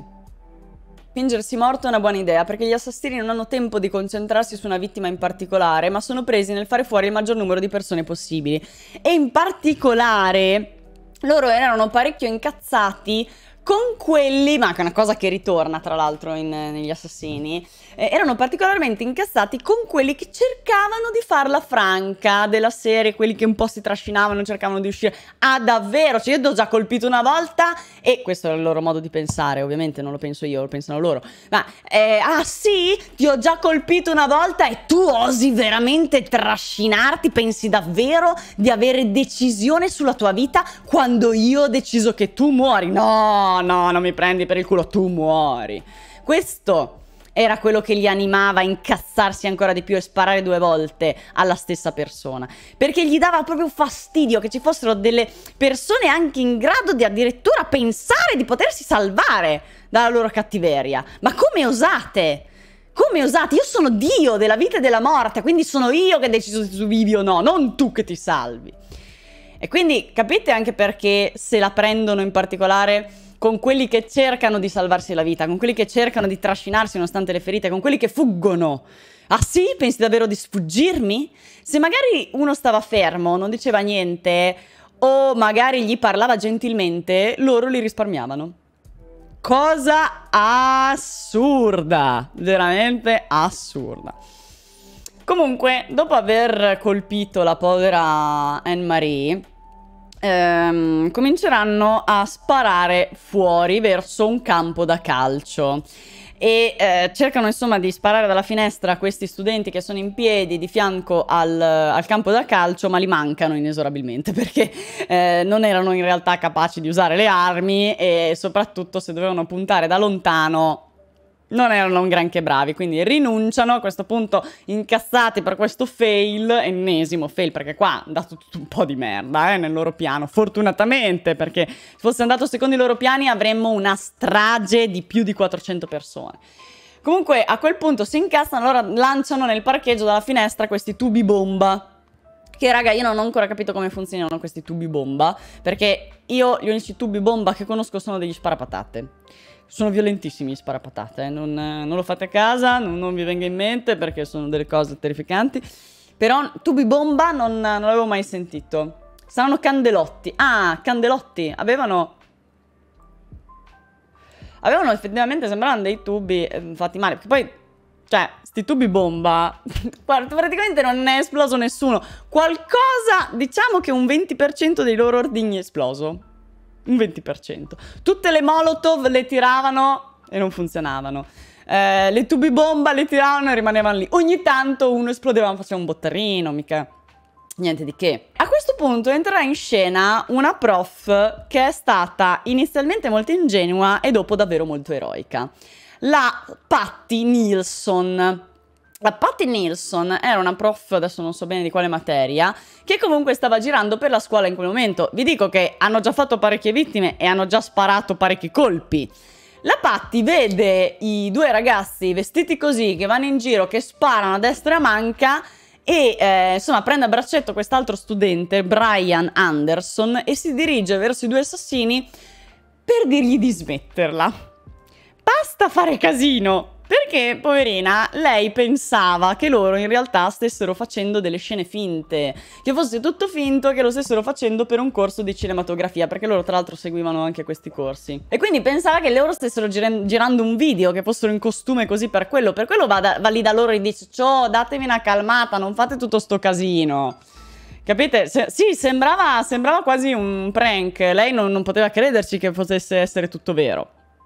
Il problema è che quando lei entra nella stanza dove si trovano loro in quel momento per dire oh raga però basta far del casino, loro sparano alla finestra, non sparano a lei, sparano alla finestra e i vetri che vengono mm, come dire, mm, esplosi da questo, da questo colpo andranno purtroppo a ferire sia la prof e sia eh, il ragazzo che era con lei, Anderson. La prof allora a questo punto abbandona Anderson, che poverino rimane lì un po' come una, una pera cotta, e comincia a correre va verso la biblioteca per avvisare tutti quelli che in realtà in questo momento sono in biblioteca, c'era parecchia gente in quel momento, di fare silenzio e nascondersi, perché stava succedendo un casino.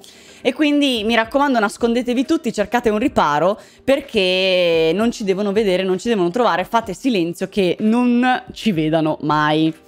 E quindi nascondendosi lì in biblioteca riesce anche a fare una chiamata al 911 e questa chiamata al 911 è veramente veramente straziante. Abbiamo l'audio io non so se ve la sentite di sentire questo audio forse è il caso che non ve lo faccia sentire comunque la trovate su youtube. Evito per il semplice motivo che eh, questa, questo massacro è davvero molto sentito negli states e quindi temo che Twitch non prenda bene. Di solito sono molto tranquilla a raccontare i casi, ma ho visto che con questo caso in particolare sono un po'... Mm. Quindi io vi metto il link in chat, così se volete ve l'andate a vedere o ve l'andate a sentire voi, ma non mi sento di fare la reaction perché eh, ho, ho, notato che insomma Twitch non, non reagisce proprio bene, i social in generale, a questa storia. Soprattutto perché temono eh, che ci possano essere dei ragazzini che vedono e che vengono influenzati a eh, emulare queste azioni. Nel frattempo, Eric e Dylan stavano per uccidere Anderson, ovvero il ragazzo che era con la prof che è rimasto lì come una pera, che infatti era rimasto indietro. Però in quel momento arriva uno sceriffo della polizia. Quindi loro si distraggono perché eh, arriva questo sceriffo e cominciano a sparare allo sceriffo. E gli sparano 10 colpi a questo sceriffo che però fortunatamente credo avesse un giubbotto anti antiproiettili perché comunque non, lo, non, gli fanno niente di che però lo sceriffo se la dà a gambe. Lui, lui scappa. Qua devo dire una cosa la polizia si è comportata in maniera davvero davvero strana eh, non so se dirvi scorretta, però l'intervento della polizia all'interno della scuola, cioè la SWAT è entrata dentro la scuola soltanto a fine massacro, cioè nel momento in cui erano sicuri che dentro sarebbe stato tutto tranquillo. Quindi è per quello che loro riescono tranquillamente a stare dentro 40 minuti e fare una strage per 40 minuti. Perché la polizia non entra. Cioè, sono arrivati, eh, perché la prof li ha chiamati, li ha chiamati subito, li ha chiamati addirittura che erano le 11.25 e fino alle 12.40 mi pare non entra nessuno, rimangono fuori, rimangono fuori a assistere tutti quelli che evacuano, tutti quelli che riescono a fuggire, ma non intervengono all'interno, cioè l'unico che è entrato è stato questo sceriffo che si è preso 10 colpi e a quel punto se l'è data a gambe. Ehi, poco eroi, eh, direi poco eroi. Ma c'era la SWAT, raga, cioè non erano i poliziati comuni, c'era la SWAT. Perché la SWAT non sapeva bene chi fossero loro? Beh, eh, perché hanno voluto assicurarsi che dentro fosse tutto finito prima di entrare. Cioè, vita degli ostaggi dovrebbe essere al primo posto. Infatti, ma hanno ricevuto davvero infinite critiche eh, per questo comportamento. Non è che lo dico io così, anzi, è, mm, è una cosa per cui gli hanno gridato vergogna. Soprattutto immaginate anche i familiari delle vittime che potevano essere salvate in tempo, cioè che sono state uccise mentre la polizia era lì fuori. Nel frattempo, eh, dopo aver colpito il, lo sceriffo e lui se n'è scappato, i due assassini corrono in corridoio e eh, cominciano a sparare a man bassa a chiunque incontrano. Quindi sparano a chiunque che sia ferito sia morto, vabbè, comunque sparano a caso, lanciano tubi bomba che per la maggior parte non esplodono, per poi, ahimè, dirigersi proprio in biblioteca, dove si erano rifugiati la maggior parte degli studenti che era ancora eh, dentro la scuola. Che succede? Nel tragitto per arrivare in biblioteca, quindi lungo il corridoio, incontrano il prof William Sanders che aveva appena finito di evacuare tutti i ragazzi che erano in mensa e li aveva salvati tutti stava andando verso la biblioteca perché nella sua, mm, insomma, nel suo eroismo, tra l'altro questo prof veramente un eroe, dopo aver evacuato tutti quanti della mensa, voleva evacuare anche tutti quanti eh, che erano in biblioteca, quindi si stava recando anche lui in biblioteca.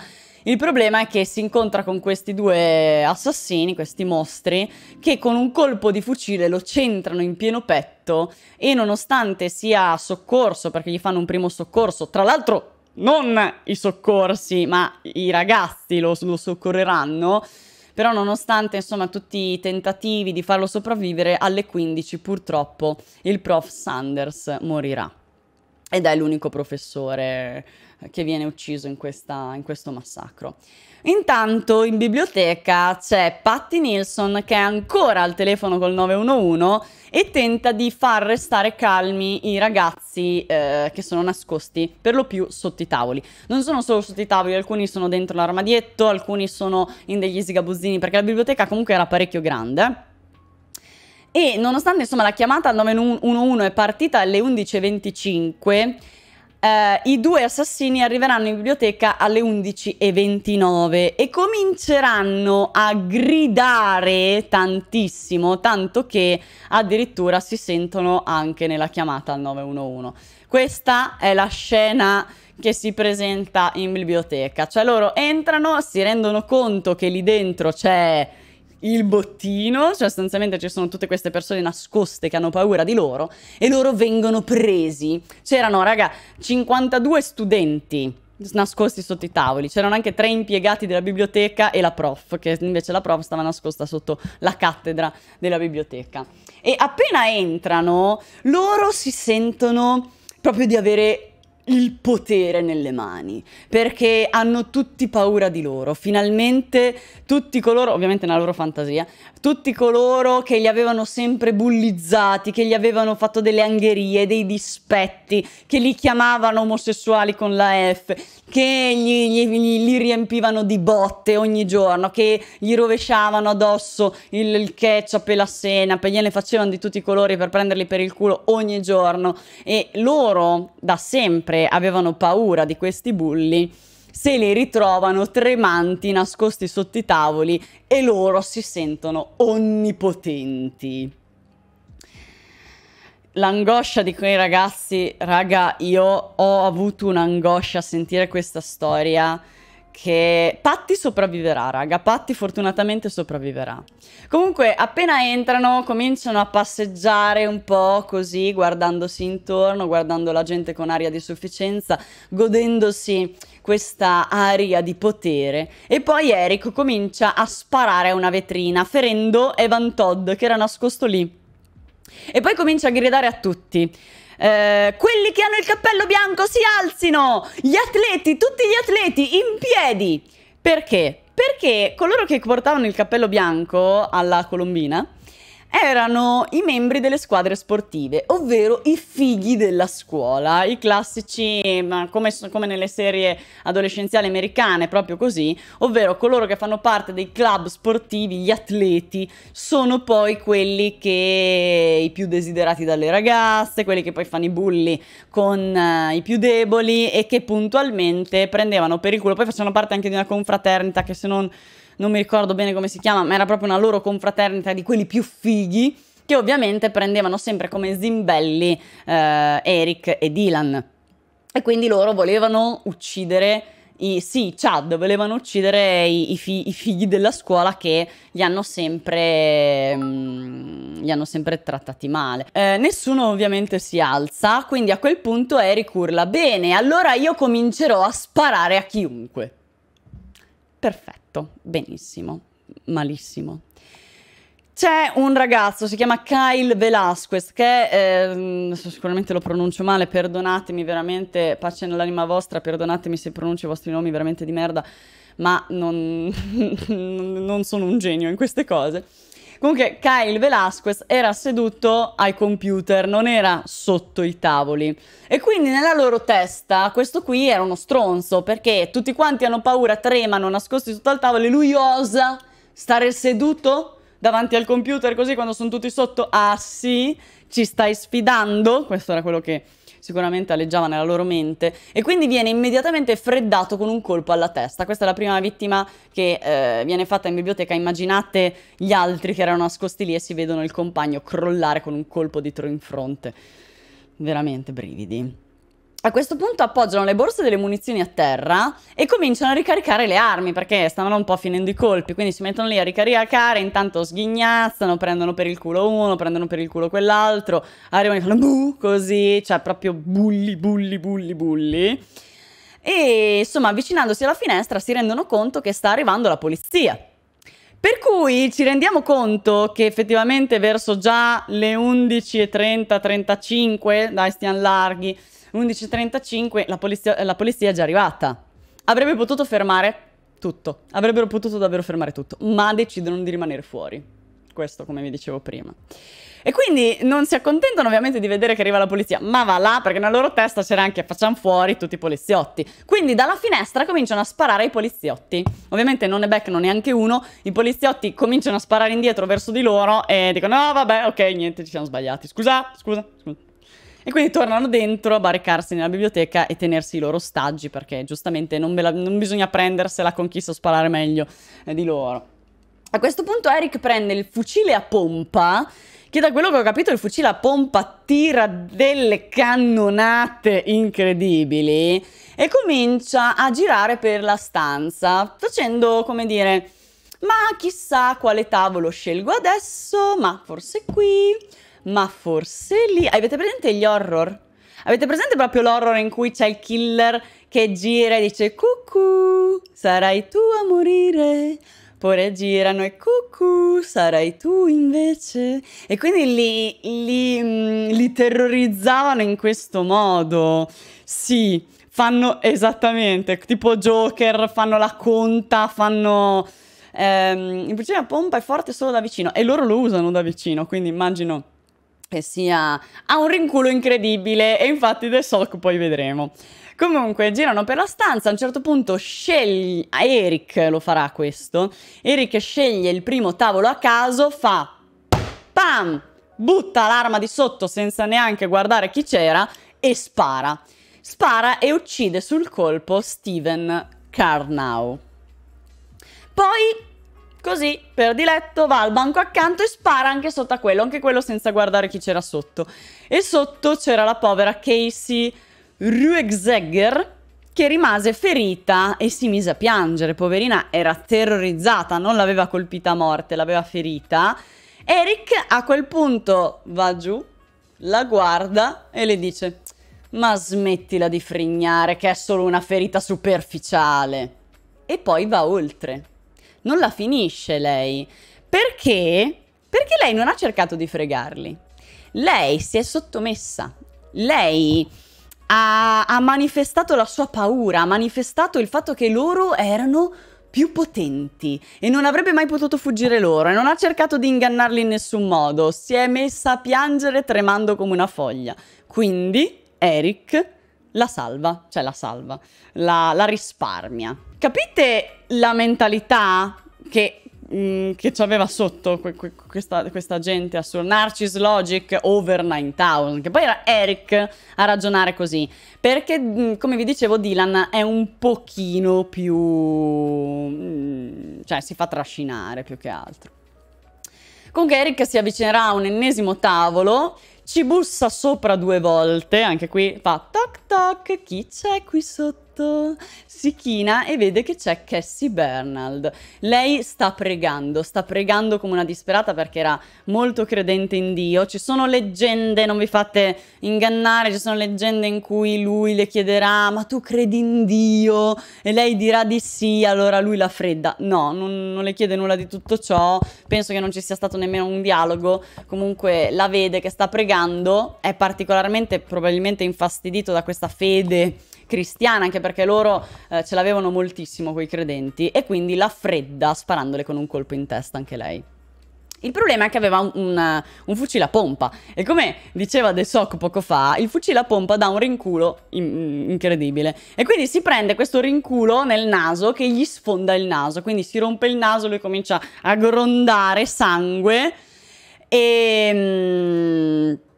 E quindi ha un momento di, di confusione. Infatti si avvicinerà, adesso vi faccio vedere eh, tutto, tutte le foto delle vittime, lo so che è piccolino, vorrei farvelo vedere un pochino meglio, però ehm, non posso ingrandirvelo molto più di così. Queste sono tutte le vittime. E, insomma, Eric col naso grondante, il naso rotto, con anche un attimo di confusione, avrà una botta fortissima, va sotto un altro tavolo, va verso un altro tavolo, dove c'è la povera Bri Pasquale. E a lei chiederà, Bri, vuoi morire? E Bri si mette a supplicarlo di non ucciderla. E lui, lei, lei dice ti prego, ti prego, non mi uccidere, ti prego risparmiami, perché mi devi fare... No dai, ti prego, faccio tutto quello che vuoi, ma non mi uccidere, non mi uccidere. Questa cosa probabilmente fa piacere a Eric perché temporeggia e lascia un po' perdere Brie. Vedete, se obbedisci, allora va tutto bene. Se ti rivolgi a un altro dio all'infuori di me, stai pregando Dio? Stai, stai, davvero pregando Dio? Pensi che Dio ti possa salvare da me? Io sono sopra, sono over Dio. Mm? Quindi quell'altra che pregava freddata. Questa non prega Dio, questo prega lui. Prega lui che la risparmi. E lui, onnipotente, nella sua grande bontà, nella sua grande delirio di Dio, decide di risparmiarla. Quindi Vedete il giochino? Che poi in realtà ha senso, ha tutto senso se si va a fondo nelle cose. Comunque, eh, nel frattempo c'è Patrick Ireland, si chiama, che stava praticando il primo soccorso a un ragazzo ferito, tale Mackay Hall. Il problema è che Dylan lo vede e viene colto da questa rabbia di queste persone che cercano davvero di salvarsi, addirittura cercano di salvarsi l'un l'altro. Che schifo nella sua testa, no? C'era, oh, che disprezzo. E quindi gli spara due colpi in testa e uno al piede al povero Patrick. E ciò nonostante, anche se rimarrà eh, con grossi danni per tutta la vita, riesce a sopravvivere Patrick. Cioè, due colpi in testa riesce a sopravvivere. Incredibile. Finalmente arrivano le loro vittime quelle che aspettavano fin dall'inizio, ovvero gli atleti. Hanno scoperto che ci sono tre atleti quelli classico cappellino bianco, nascosti insieme eh, in una certa area della, sotto dei tavoli nell'area de, della biblioteca. Si tratta di Isaiah Schulz, Matthew Ketchter e Craig Scott. Lui, eh, Dylan cerca di tirare fuori Isaiah dal, da sotto al tavolo, quindi lo afferra e cerca di tirarlo fuori. Il problema è che Dylan non è che sia tutta sta, sta forza, sta corpulenza, invece Isaiah che è un atleta, tra l'altro di colore, bello muscoloso e piazzato, col cazzo che si fa tirare fuori da, da un braccino. Quindi a quel punto Dylan chiede l'aiuto di Eric per eh, estrarre, diciamo, Isaia da sotto il, um, il tavolo, lo, lo, riescono a tirare fuori e cominciano a insultarlo tantissimo. Eh, soprattutto per il colore della sua pelle. Quindi, ovviamente, va beceri insulti razzisti. Poi alla fine gli puntano il fucile in, in, al petto e lo freddano subito, così. Ovviamente se non c'era da mirare da lontano, così ce la... Cioè, vabbè. Comunque, intanto uh, Dylan si sta occupando di Matthew Ketchter. Dylan sparerà e ucciderà anche Matthew sul colpo, anche lui così. Craig Scott, il terzo atleta che avevano preso di mira, riesce a cavarsela perché si finge morto nascosto sotto i cadaveri degli altri due suoi amici. Immaginatevi che ci sono questi ragazzi, in particolare Matthew, che nonostante sia vivo ha talmente tanta paura che rimane sotto i corpi dei suoi amici per tre ore e mezza finché non arrivano i soccorsi a tirarli fuori, che saranno già le 15, 15.30. Quindi, cioè, capite il calvario di un'anima che è rimasto lì dal terrore immobile schiacciato dai corpi dei tuoi migliori amici morti? Io, raga, cioè, sta gente credo che non si sia mai più ripresa in vita, eh. Tra l'altro, esatto, Craig è il fratello di Rachel, la prima vittima. Esatto, Sara, esatto, bravissima che me l'hai ricordato. Ehm... Tu immagina cosa ha sognato nei giorni successivi questo qui, sognato, ma cosa c'è cioè, anche avuto nel, nella retina, perché questo qui non aveva neanche tanto bisogno di sogni, questo cioè, l'aveva vista veramente l'incubo, credo che nemmeno nei suoi peggiori incubi si fosse mai immaginato una cosa così eh, terribile. Comunque, girando per la stanza e continuando a seminare il terrore, scelgono altri tavoli a caso in cui sparano sotto e uccideranno la povera Lorraine Townsend e feriranno eh, to eh, John Tomlin, che però malauguratamente non usa la strategia dell'opossum, ma cerca di strisciare fuori dalla biblioteca ma appena lo vedono eh, Dylan, Dylan, gli spara e, e, lo prendono anche a calci, tra l'altro. Gli sparano, lo prendono a calci, vedete la cattiveria che c'è verso chi cerca di salvarsi, chi cerca di scappare, ci sarà anche una scena toccante che è diventata simbolo anche di questo massacro di uno degli studenti che si calerà dalla finestra e verrà preso dai poliziotti perché loro fuori stavano, no? Porini, ehm, verrà afferrato mentre si calava dalla finestra per salvarsi ed è riuscito a salvarsi anche se molto ferito. Comunque rimarrà uccisa anche Kelly Fleming che eh, anche lei era, si era alzata da sotto il tavolo e si era seduta a un tavolo. La raggiungono da dietro e la freddano con un colpo, le appoggiano la canna del fucile sulla schiena e la freddano così. Eh, io non oso immaginare il, il, panico. Allora a un certo punto eh, escono, fanno per uscire dalla biblioteca e incontrano uno studente, Savage si chiamava di cognome questo studente, incontrano questo studente che gli chiede Ciao raga, cosa state facendo? Lui proprio ignaro di tutto quello che stava succedendo e loro gli dicono Ma sai, ammastiamo un po' di gente Ah ok, volete uccidere anche me? Ma no, dai, vai, vai, fai dei metri. E si salva così. Cioè, perché lui era stato gentile con loro gli aveva semplicemente chiesto, ah, cosa state facendo? Ma mi salvate? Cioè, gli ha, gli ha, dato la possibilità, ma mi salvate? Ma volete uccidere anche me per caso? Non è scappato, non si è ribellato, non ha cercato di dare allarme, è stato il loro gioco. Quindi si è salvato. Vedete? Il meccanismo è sempre quello. Comunque sparano anche sotto l'ennesimo tavolo e uccideranno anche il povero Corey De Puter. Ne uccideranno 12 eh, di ragazzi, ne feriranno 24 e uccideranno anche un insegnante. Comunque, insomma, dopo tutto questo massacro che hanno ucciso tutte queste persone in biblioteca, cominciano un po', insomma, l'adrenalina è scesa, sono già passati 40 minuti, sono un po' così, no, forse 30, scusa, un po' meno. E quindi gli scende l'adrenalina, cominciano a perdere gusto nel sparare alla gente perché, bah, era noioso alla fine, dai, cioè spari, questi cadono, non era così emozionante come pensavano, era un po' scesa l'adrenalina. E quindi eh, li sentono, quelli sopravvissuti li sentono che dicono, eh, che palle, forse dovremmo cominciare ad accoltellarli, sarebbe più divertente. Non lo fanno, fortunatamente non lo fanno. Comunque alle 11.42 finalmente escono da questa beneamata eh, biblioteca eh, e finiscono con questa strage inutile e vanno in giro per i corridoi sparando alle cose, cioè proprio sparano agli armadietti, sparano alle finestre, sparano agli oggetti, cioè così pam pam pam, pam in maniera annoiata, ormai non hanno neanche più il... si sono un po' rotti i coglioni, capito? Bablub. Eh, quindi sì, vanno in giro un po' così, sparano di qua, sparano di là po' due maroni. raggiungono i bagni, tra l'altro lanceranno anche delle molotov che non esplodono, quindi meraviglioso. Comunque raggiungeranno i bagni e dentro i bagni ci sono barricate ovviamente delle altre persone. E loro lo sanno. E quindi si mettono fuori dal bagno e cominciano a fare toc toc. Lo sappiamo che siete lì. Abbiamo già ammazzato tutti in biblioteca e indovinate un po', stiamo per uccidere tutti quanti. Toc toc toc.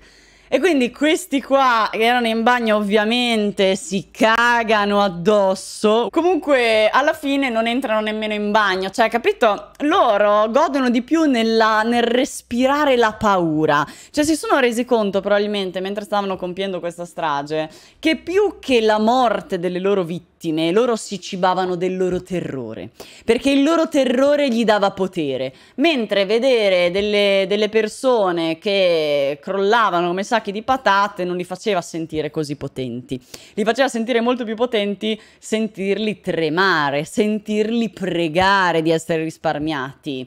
E effettivamente però che ansia, che ansia, un bel po' che ansia. Finalmente eh, hanno una buona idea questi due, tornano in biblioteca, c'è ovviamente ancora qualcuno dentro la biblioteca oltre ai cadaveri, ma ci sono persone che fanno tutte finta di essere morte per fortuna. E loro va, entrano in biblioteca, guardano dalla finestra, provano di nuovo a sparare ai poliziotti, ma ovviamente non li beccano e si prendono degli spari all'indietro, quindi di nuovo dicono ok. Quindi il loro sogno di finire in uno scontro a fuoco con la polizia non si avvera perché loro si aspettavano come tutti quanti che la polizia facesse irruzione dentro la scuola. E anche per quello un po' che loro si sono rotti i maroni, perché si aspettavano che arrivasse la polizia e che loro cominciassero ad avere uno scontro a fuoco con la polizia e che poi sarebbero rimasti morti sotto i colpi della polizia, ma la polizia non è entrata e quindi loro sono rimasti un po' lì così. Quindi a questo punto, visto che non possono mo- morire in uno scontro a fuoco con la polizia, perché altrimenti sarebbe dalla finestra a terra, no dai, non va bene, si metteranno, e secondo me questa non è una scelta casuale, si metteranno vicino ai, co- ai corpi dei due atleti uccisi, dove c'era anche l'altro che invece era ancora vivo, che ha dovuto subirsi tutta sta cosa. Veniamo al momento topico. Ehm, loro si sono avvicinati ai corpi degli atleti che odiavano tantissimo, che hanno ucciso, e decidono finalmente di farla finita. Quindi um, uno dei due, Eric, si siede per terra e si punta un fucile da caccia in bocca.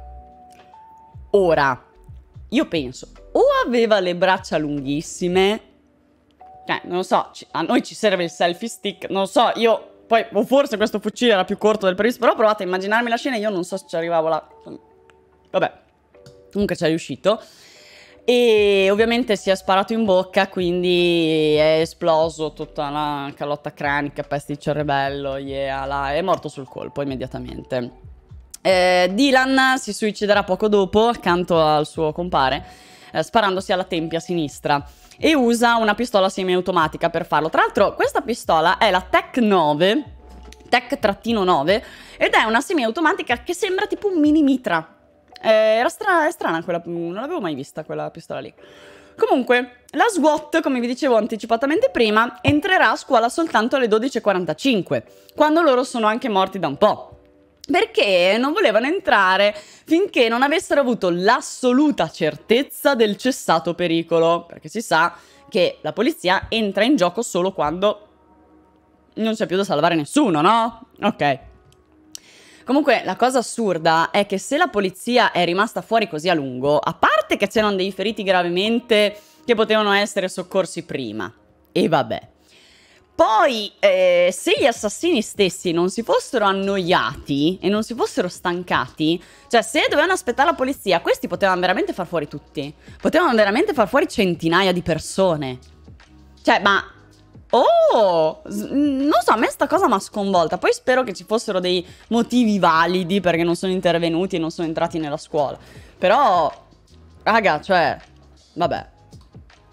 Comunque, come vi dicevo um, a inizio della live, il movente è stato ricercato dai, insomma, hanno fatto tante lucubrazioni varie Io qui eh, penso di poter usare molto tranquillamente il rasoio di Occam e dirvi che la motivazione è abbastanza semplice.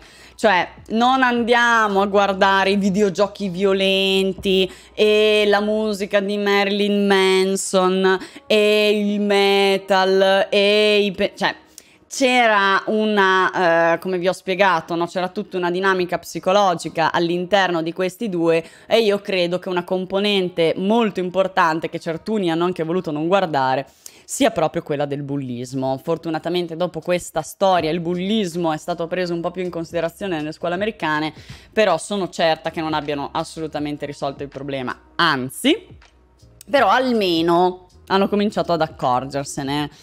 Eh, come vi dicevo all'inizio, adesso vi faccio rivedere i due stronzoni qua.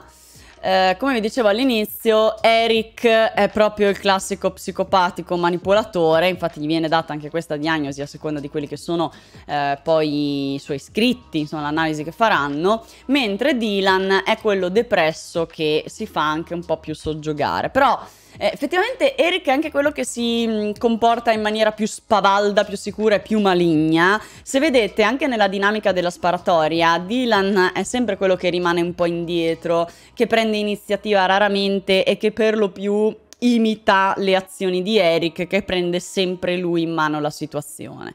Comunque, come vi dicevo, Eric aveva sto disprezzo per la gente perché dicevano che erano tutti degli stupidi ignoranti e qui eh, Kira effettivamente se lo ricorda, cioè mi ricordate quando lui diceva che stupidi, che proprio carne da macello questa gente che non può competere con il mio genio. Ecco, lui era così, lui Eric era proprio così. E, um, ovviamente gli diagnosticano anche post mortem, chiaramente gli diagnosticano anche un, um, complesso di superiorità a livelli messianiaci, me, me, scusate, messianici, cioè a livello messia. E infatti, come vediamo, no, il gio- giocare a essere Dio, decidere chi può vivere, chi deve morire, è abbastanza evidente. Comunque, la cosa assurda è che Eric era talmente psicopatico proprio giovane, psicopatico, ma promettente. Era talmente bravo a manipolare che si faceva vedere come il ragazzino biondino che parlava bene, aveva un ricco vocabolario, era acculturato. Tra l'altro Eric faceva parte anche di una classe di bambini speciali, nel senso che erano più intelligenti degli altri. Quindi ehm, era uno che se tu guardavi solo il rendimento scolastico tutto bene. Poi lui ovviamente manipolava, mentiva, aveva il gusto no? di prendere per il culo la gente. E lui tra l'altro eh, molto spesso si vanta di questo, si vantava nei suoi diari, di questa sua capacità di mentire, di prendere per il culo tutto, tutti. E eh, lui diceva lo faccio per salvarmi il culo, perché questa gente non mi comprende, bla bla bla. Eh, si nascondeva però anche un bellissimo e meraviglioso piacere di ingannare, piacere proprio di eh, crogiolarsi nell'io sono superiore. Questa più o meno è la storia. Io vi dico anche che a un certo punto hanno cercato pure di dare la responsabilità a Marilyn Manson di questa, eh, di questa strage, che poi tra l'altro, ma poverino Marilyn Manson, ma perché?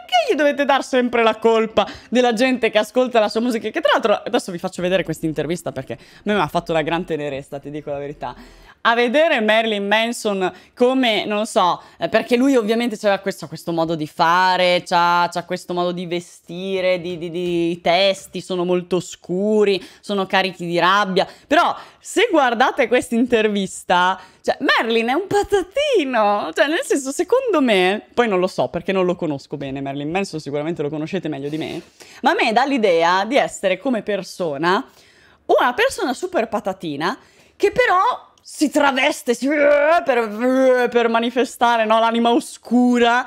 E però secondo me sotto sotto lui è proprio un patato. Però boh, forse è una mia fantasia, è una mia fantasia. When I was a kid growing up, music was the escape. That's the only thing that uh, had no judgments. You know, you put on a record and it's not going to yell at you for dressing the way you do. Ah, tra l'altro qui lo sta intervistando mm-hmm. lo scrittore Chuck Palahniuk. Non so se lo conoscete, ma è un bravo scrittore. The answer is no. But does everybody who, who watches a Lexus ad go and buy a Lexus? Questo è un ottimo esempio di... Mettiamo a paragone due cose che non sono paragonabili, ma ok. C'è anche quello di Fight Club, esatto. Lui. In the end, sort of a poster boy for fear. Because I represent what everyone's afraid of. Because I do and say what I want. If Marilyn Manson can walk into our town and promote hate, violence, suicide, death, drug use, and Columbine-like behavior, I can say, not without a fight you can't. The two byproducts of, of that whole tragedy were Raga, a me fa tenerezza Merlin, non so. And how perfect that that was the two um, things that we were going to talk about with the upcoming election. And also then we forgot about Monica Lewinsky and we forgot about the president was shooting bombs overseas, yet I'm a bad guy because I've, I've sang some rock and roll songs. And who's a bigger influence, the president or Marilyn Manson? Do you know? I'd like to think me, but I'm going to go with the president. Do you know that the day that Columbine happened, the United States dropped more bombs on Kosovo than any other time during that war. I do know that, and I think that that's really ironic. You know that that I'm a bad nobody guy. said, well, maybe the president had an influence Marilyn on this Manson violent assomiglia a behavior. Nicolas No, Cage because senza that's, that's not the way the media wants to take it and spin confermo. and turn it into fear. Because then you're watching. E Michael television, Moore ha intervistato. you're Io perché avevo letto che invece era di Chuck Palahniuk questa intervista. Mi hanno fregato. there's murder. Cut to commercial. Buy the Acura, buy the Colgate. If you have bad breath, they're not to talk to you. If you got pimples, the girl's not to fuck you. Vedete anche come sta it's seduto? this- it's a campaign Io sono abbastanza affascinato da questa figura, ma c'ha del the disagio affascinante. Keep everyone afraid and they'll consume. Mm-hmm. And that's that's really Right. as simple as it can be boiled down to. Right. If you were to talk directly to the to the kids at Columbine or the people in that community, what what would È un what would estratto you di say Bowling for were here right Columbine, sì. I wouldn't say a single word to them. I would listen to what they have to say, and that's what no one did.